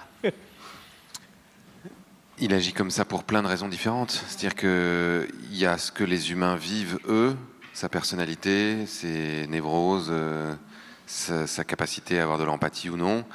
Et puis, il y, a la structure dans laquelle il est euh, inséré. Et c'est très intéressant de voir qu'une très grande partie de nos comportements sont orientés par des architectures dans lesquelles on, vit, qui sont des architectures qui peuvent être physiques. Euh, l'urbanisme en est un, le, la façon dont une pièce est disposée. Par exemple, euh, si vous mettez tout le monde euh, d'une certaine façon, enfin, admettons que vous mettez tout le monde en rond et tout le monde peut se voir, ou vous mettez tout le monde en gradin comme ça, la façon dont vous allez vous comporter n'est pas exactement la même. Vous mettez, si je prends un exemple extrême, vous mettez quelqu'un dans une pièce euh, à poil, il fait 5 degrés, elle va pas se comporter comme quelqu'un qui est là dans une pièce où il fait 20 degrés et qui habillé. Et donc, d'une certaine manière, ce à quoi Bella et Vipoulane sont confrontés, c'est ça. C'est-à-dire qu'ils sont face à une espèce d'institution, à quelqu'un qui, qui, qui, est d'abord une fonction avant d'être un être humain. Et c'est ça qui est choquant. C'est qu'on attendrait de lui, qu'il soit un être humain, là, puisqu'il parle à deux, ados. Et en fait, il, reste dans son truc où on sait qu'il magouille un peu et qu'il a des intérêts croisés. Donc je pense que ça se joue à, plusieurs niveaux. C'est-à-dire que je pense que ça se joue à, sur avoir un impact sur les architectures. Et avoir un impact sur les architectures, la plupart du temps, là, ça passe par faire de la politique, construire des rapports de force et les construire avec des stratégies. Et ce qui manque le plus souvent à XR ou à tout un tas de mouvements euh, qu'on a pu voir émerger ces derniers temps, c'est qu'il n'y a pas beaucoup de stratégies dans la continuité. Il peut y avoir des stratégies très ponctuelles pour euh, arriver à bloquer une entreprise ou à faire parler d'un sujet. Mais moi, ça m'arrive très souvent de parler avec le mouvement climat et de leur dire euh, c'est quoi le but quoi? Vous voulez arriver où? À faire élire un autre gouvernement? À renverser ce gouvernement-là? À transformer les institutions? À, j'en sais rien moi, à, ce que tous les médias parlent de vous. Enfin, c'est quoi le but quoi? Une fois qu'on sait quel est le but, après on peut dérouler une stratégie. Et bon, souvent il n'y en a pas. Donc ça, pour moi, c'est un premier niveau. Et il y a un autre niveau qui est de de permettre, en fait, enfin, de construire des espaces dans lesquels euh, on puisse se retrouver dans des architectures différentes. C'est-à-dire en attendant qu'on ait modifié celle-là. Et donc c'est moi, c'est ce que je faisais à une époque, quand j'organisais des congrès israélo-palestiniens ou des congrès d'imams et de rabbins pour la paix. C'était essayer de sortir les gens de leur contexte, sortir les gens de leur fonction, pour les remettre dans un contexte où ils se parlent d'humain à humain. Et ça, ça peut avoir des conséquences euh, insoupçonnables, parce qu'il y a parfois des rencontres extraordinaires avec des gens qui, qui se tombent dans les bras, qui font dans l'arme, et qui du coup sont capables de reconsidérer ensuite, quand ils retournent dans leur, euh, dans leur architecture, la façon dont ils vont agir. Mais ça, ça demande de les extraire. Là, en l'occurrence, dans l'extrait dont vous parlez, euh, il, est, il est en plein dedans. Donc là, ça demande de prendre du recul, du champ, de s'isoler et, et de, reconstruire des contextes un peu différents. Enfin, j'ai l'impression. Je, vois que le temps file. Je vous propose de prendre deux dernières questions très courtes, s'il vous plaît, et des questions, s'il vous plaît. Et puis on clôturera en fait cette. Donc euh, il y a plusieurs questions et ça va être le choix de, la, personne du micro de choisir.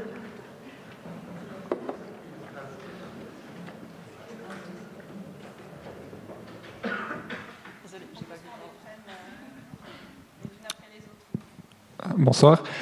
Euh, ma question, euh, un petit peu enchâssée. La première, c'était de savoir comment euh, vous, vous, vivez et gérez le, quotidien du...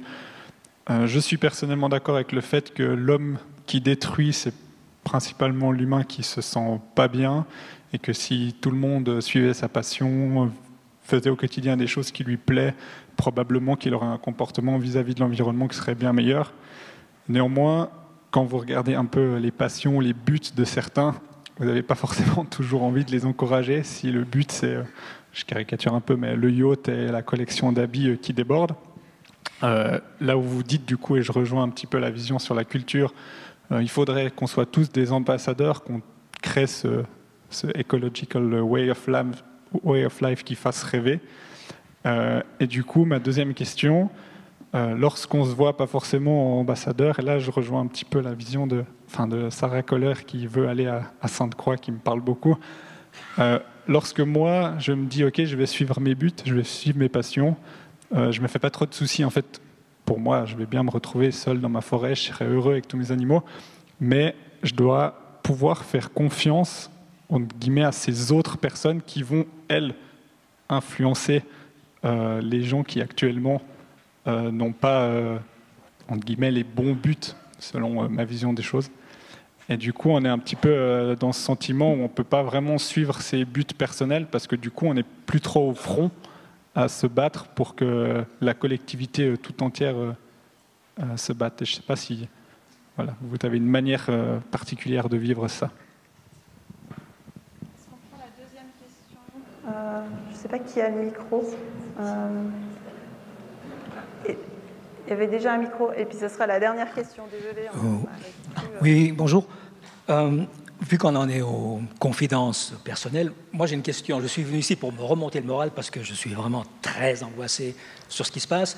Et j'avais une idole qui a disparu de la circulation. Elle a été abattue en plein vol. C'est Greta Thunberg. Euh, elle, a, elle, a, été abattue en plein vol par le Covid. Et maintenant qu'on repartait, on n'en entend plus parler. Et maintenant il y a Poutine qui va faire euh, retarder encore cette chose. Alors, qu'est-ce qu'on va devenir exactement? Elle est, vraiment bien celle-là. Alors là, vraiment, euh, on en cherchait une pour la fin. Celle-là, elle est vraiment. Euh,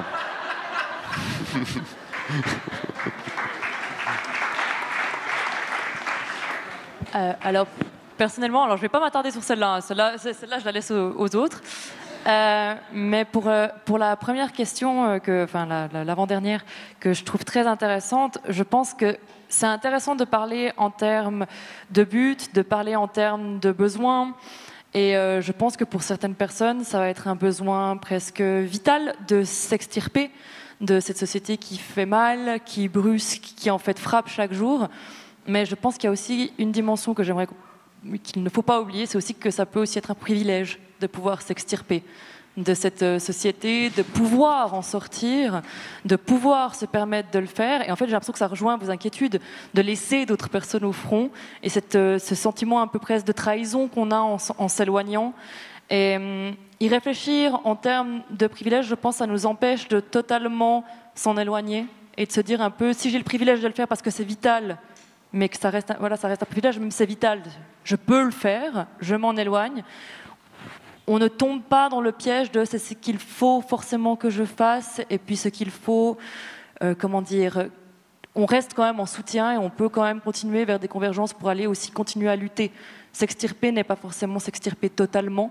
S'extirper, c'est aussi euh, peut-être avoir des lieux, ben, je parlais des, lieux militants aussi, qui sont parfois des entre-soi, qui sont euh, ben, régénérateurs en fait. C'est un besoin aussi d'être là-bas. Donc il y a plusieurs manières de s'extirper et de pouvoir continuer à lutter d'autres manières aussi peut-être. Enfin voilà, mais en tout cas, je voulais quand même souligner cette notion que bah, malheureusement tout le monde ne peut pas sortir de la société dans laquelle on est.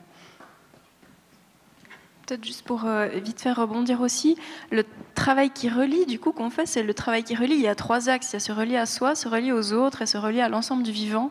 Et je trouve que ça rejoint, finalement, la boucle, elle est bouclée parce qu'au début, on a, on a parlé du fait de changer notre vision aussi, de dire qu'il y a un continuum entre notre santé et celle de la biosphère. Et pour moi, j'ai pas l'impression de m'isoler enfin de partir là-bas en, m'isolant, mais, mais, au contraire de me dire qu'en en fait on est plein à, à œuvrer sur plein de tableaux différents et de me dire qu'en fait c'est ok.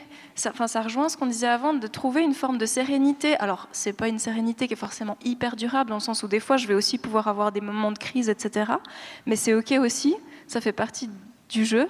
Mais en fait, de quand même se trouver des moments de ressources et de s'autoriser en fait à s'extraire parfois, s'autoriser et ça rejoint les ressources aussi, s'autoriser à prendre du recul, peut-être pas regarder les infos pendant une semaine, euh, pour se ressourcer. Parce qu'en fait, si on finit en burn-out, on ne sert plus à rien. Donc en fin de compte, euh, si on prend soin de soi, ça paraît très bateau, mais en fait c'est hyper euh, clé, en fait ça. Et de, commencer à changer cette perspective-là, voilà. Puis pour la deuxième question, moi je dirais on se fait des free hugs, puis c'est cool, peut-être. Non mais sur qu'est-ce qu'on va devenir? En réalité, on est confronté à la même. c'est une situation différente, mais au même défi que beaucoup de générations avant nous. C'est-à-dire que on a besoin de mettre un pied devant l'autre et, comme je le disais tout à l'heure, de vivre. Et là, ce qui se présente devant nous, c'est effectivement inquiétant, c'est très complexe parce que c'est un enchevêtrement d'une multitude de situations pour la première fois, l'humanité est confrontée, euh, en tout cas de façon globale, aux limites de la biosphère et à des limites écologiques. C'est déjà arrivé à des civilisations, mais c'est jamais arrivé à toute l'humanité. Et on sait que arriver à ces limites-là va générer d'autres problématiques politiques, économiques, géopolitiques, militaires. Et comme, comme n'importe quelle génération avant nous, on est ramené à la question qui est euh, Qu'est-ce que vous allez faire de ça? Vous voyez cette situation, qu'est-ce que vous allez en faire? Et moi, il me semble qu'un des enjeux les, plus, euh, les plus brûlants, c'est un enjeu démocratique, c'est-à-dire de trouver des espaces dans lesquels on est capable de faire un diagnostic commun de cette situation, déjà de s'entendre sur ce qui se passe, et à partir de là, de construire des espaces dans lesquels ensemble on peut élaborer des solutions communes pour y répondre. Pourquoi? Parce que sinon,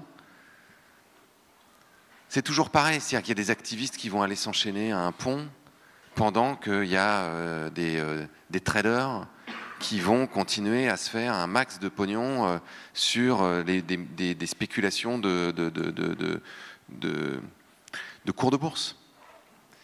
Et en fait, là, on est c'est à ça, d'une certaine manière, que la crise écologique devrait nous ramener, c'est à, un sentiment d'appartenance collective. Donc un sentiment de, on est tous dans le même bateau, c'est vraiment la merde, et il va vraiment falloir que collectivement, on, trouve des solutions. Donc c'est ce que vous disiez toutes les deux tout à l'heure, mais commencer à construire ces collectifs autour de soi, avec ses amis, avec les gens euh, auprès de qui on vit, euh, avec euh, les institutions dans lesquelles on est, et faire grandir ces collectifs et faire en sorte que ces collectifs non seulement se transforment, non seulement nous permettent de vivre des choses formidables entre nous, nous soutiennent parce qu'on n'est pas tout seul, soit le creuset d'une créativité nouvelle, mais que ce soit aussi des collectifs qui engagent des rapports de force avec d'autres structures plus vastes, c'est inévitable. Ce qui fait qu'une société, à mon avis, en tout cas, euh, bascule, c'est-à-dire qu'il y a des, changements vraiment en profondeur, parce que c'est ça dont on a besoin aujourd'hui, des changements aussi profonds, par exemple, que de passer d'une société monarchique à une société euh, où euh, on a des représentants, donc ce qui, est, un vrai changement de paradigme en termes de, structure du pouvoir. Pour moi, pour arriver à ce genre de changement-là, on a besoin de trois choses de façon continue. On a besoin d'avoir des récits nouveaux qui émergent, c'est-à-dire des gens qui sont capables de penser le monde autrement que comme il est, à la fois à travers des œuvres d'art, mais aussi à travers des nouvelles pratiques, des nouvelles façons de vivre, des gens qui vont vivre dans des ZAD, des gens qui vont faire de la permaculture, des gens qui vont inventer des monnaies locales, des gens qui vont mettre en place des revenus d'existence. Donc ils sont capables de penser le monde autrement et de le, faire émerger. Des gens qui créent des rapports de force que ce soit la Révolution française, que ce soit la fin de l'esclavage, que ce soit euh, le droit de vote des femmes, que ce soit euh, l'indépendance de l'Inde, il y a toujours eu des rapports de force, des rapports de force parfois violents, parfois non violents. C'est ce qui fait dire aujourd'hui à des activistes ou à des universitaires activistes comme euh, Andreas Malm, qui a écrit Comment saboter un pipeline, qui est déjà un, programme assez explicite en soi, qui dit qu'est-ce qui est le plus violent aujourd'hui Est-ce que c'est de construire un pipeline ou est-ce que c'est de le saboter? Et le mouvement climat aujourd'hui est en train de se raconter un peu des histoires, en se disant que simplement euh, en allant faire des marches, et puis de temps en temps en allant euh, faire un peu de désobéissance civile, ça va suffire. Mais non, ça va pas suffire.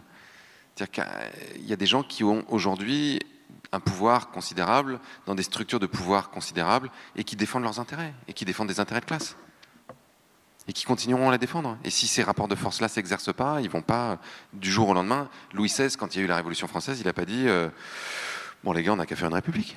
Je sais pas. J'arrête d'être roi, euh, on fait des élections, euh, c'est cool, non? Non, il n'a pas dit ça. Et aucune personne qui est au pouvoir aujourd'hui ou qui a des intérêts financiers considérables ne dira ça. Donc ça, c'est le deuxième truc. Et le troisième truc, c'est des circonstances historiques. C'est que souvent, ce sont les circonstances historiques qui jouent comme des catalyseurs. Le droit de vote des femmes, c'est, euh, par exemple, au Royaume-Uni, c'est des personnes qui sont capables de penser le monde autrement en disant les hommes et les femmes peuvent être égaux, et donc euh, des gens qui écrivent et des gens qui euh, refusent de continuer à se conformer à une forme de patriarcat, hein. C'est les suffragettes, avec des rapports de force, violents et non violents, et c'est la Première Guerre mondiale, qui finit par euh, cranter le truc parce qu'à un moment, les hommes partent au front, il y en a beaucoup qui meurent, il y a un déséquilibre démographique, les femmes prennent des responsabilités considérables dans la société, ça devient intenable de considérer que c'est des citoyennes de seconde zone. De la même façon, l'indépendance de l'Inde, c'est Gandhi, c'est euh, des, gens qui sont capables de penser euh, que les Indiens et les Anglais valent autant, mais c'est la fin de la Seconde Guerre mondiale et un mouvement de décolonisation dans le monde. Ben là, on en est là. C'est-à-dire, qu'est-ce qu'on va devenir? On va se retrouver dans une situation où il va falloir faire émerger des récits nouveaux, il va falloir engager des rapports de force et des circonstances historiques puissantes, comme là, ce qu'on a vu avec le Covid, comme ce qu'on voit avec la guerre, mais comme une circonstance de fond qui est le, le dérèglement du climat et l'érosion de la biodiversité, va mécaniquement pousser des mouvements, mécaniquement pousser des gens à se révolter, parce qu'ils seront les premiers à être les victimes du réchauffement climatique. Et donc, va stimuler euh, ces rapports de force et va demander qu'il y ait de la créativité avec des récits nouveaux. Et il faut qu'il y ait les trois, parce que s'il n'y a pas les trois, par exemple, s'il n'y a que des rapports de force, c'est le printemps arabe. Si on renverse un dictateur et après, en fait, on n'a pas de récit nouveau à proposer, on n'a pas de stratégie, on n'a pas de plan, et donc c'est euh, les mêmes qui reprennent le pouvoir et qui recommencent c'est les mouvements comme les Indignés, comme Nuit debout, comme Occupy Wall Street, où il y a une espèce d'élan comme ça, mais il n'y a pas de stratégie, il n'y a pas de vision. Donc, bah, au bout d'un moment, ça meurt. Et s'il n'y a que de la vision, s'il n'y a que des nouveaux récits, ben, c'est euh, le, mouvement de la transition. C'est des collectifs qui essaient d'inventer des petits modes de vie euh, locaux, machin, etc. Mais qui aujourd'hui en reviennent, qui disent, bah, un- quelqu'un comme David Holmgren qui a créé la permaculture, qui a inspiré le mouvement des, villes en transition avec Rob Hopkins et tout ça, ils disent, bah, il nous faudrait deux générations là pour que ça marche cette stratégie. Sauf qu'on n'a pas deux générations. Donc il faut des rapports de force en même temps. Et en même temps, ces circonstances historiques qui vont les catalyser. Et nous, on est au milieu de ça.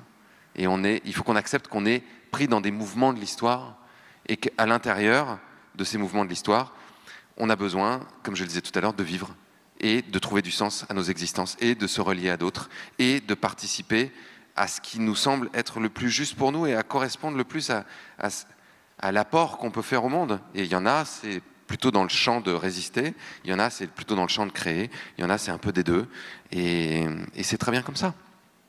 Voilà. Allez.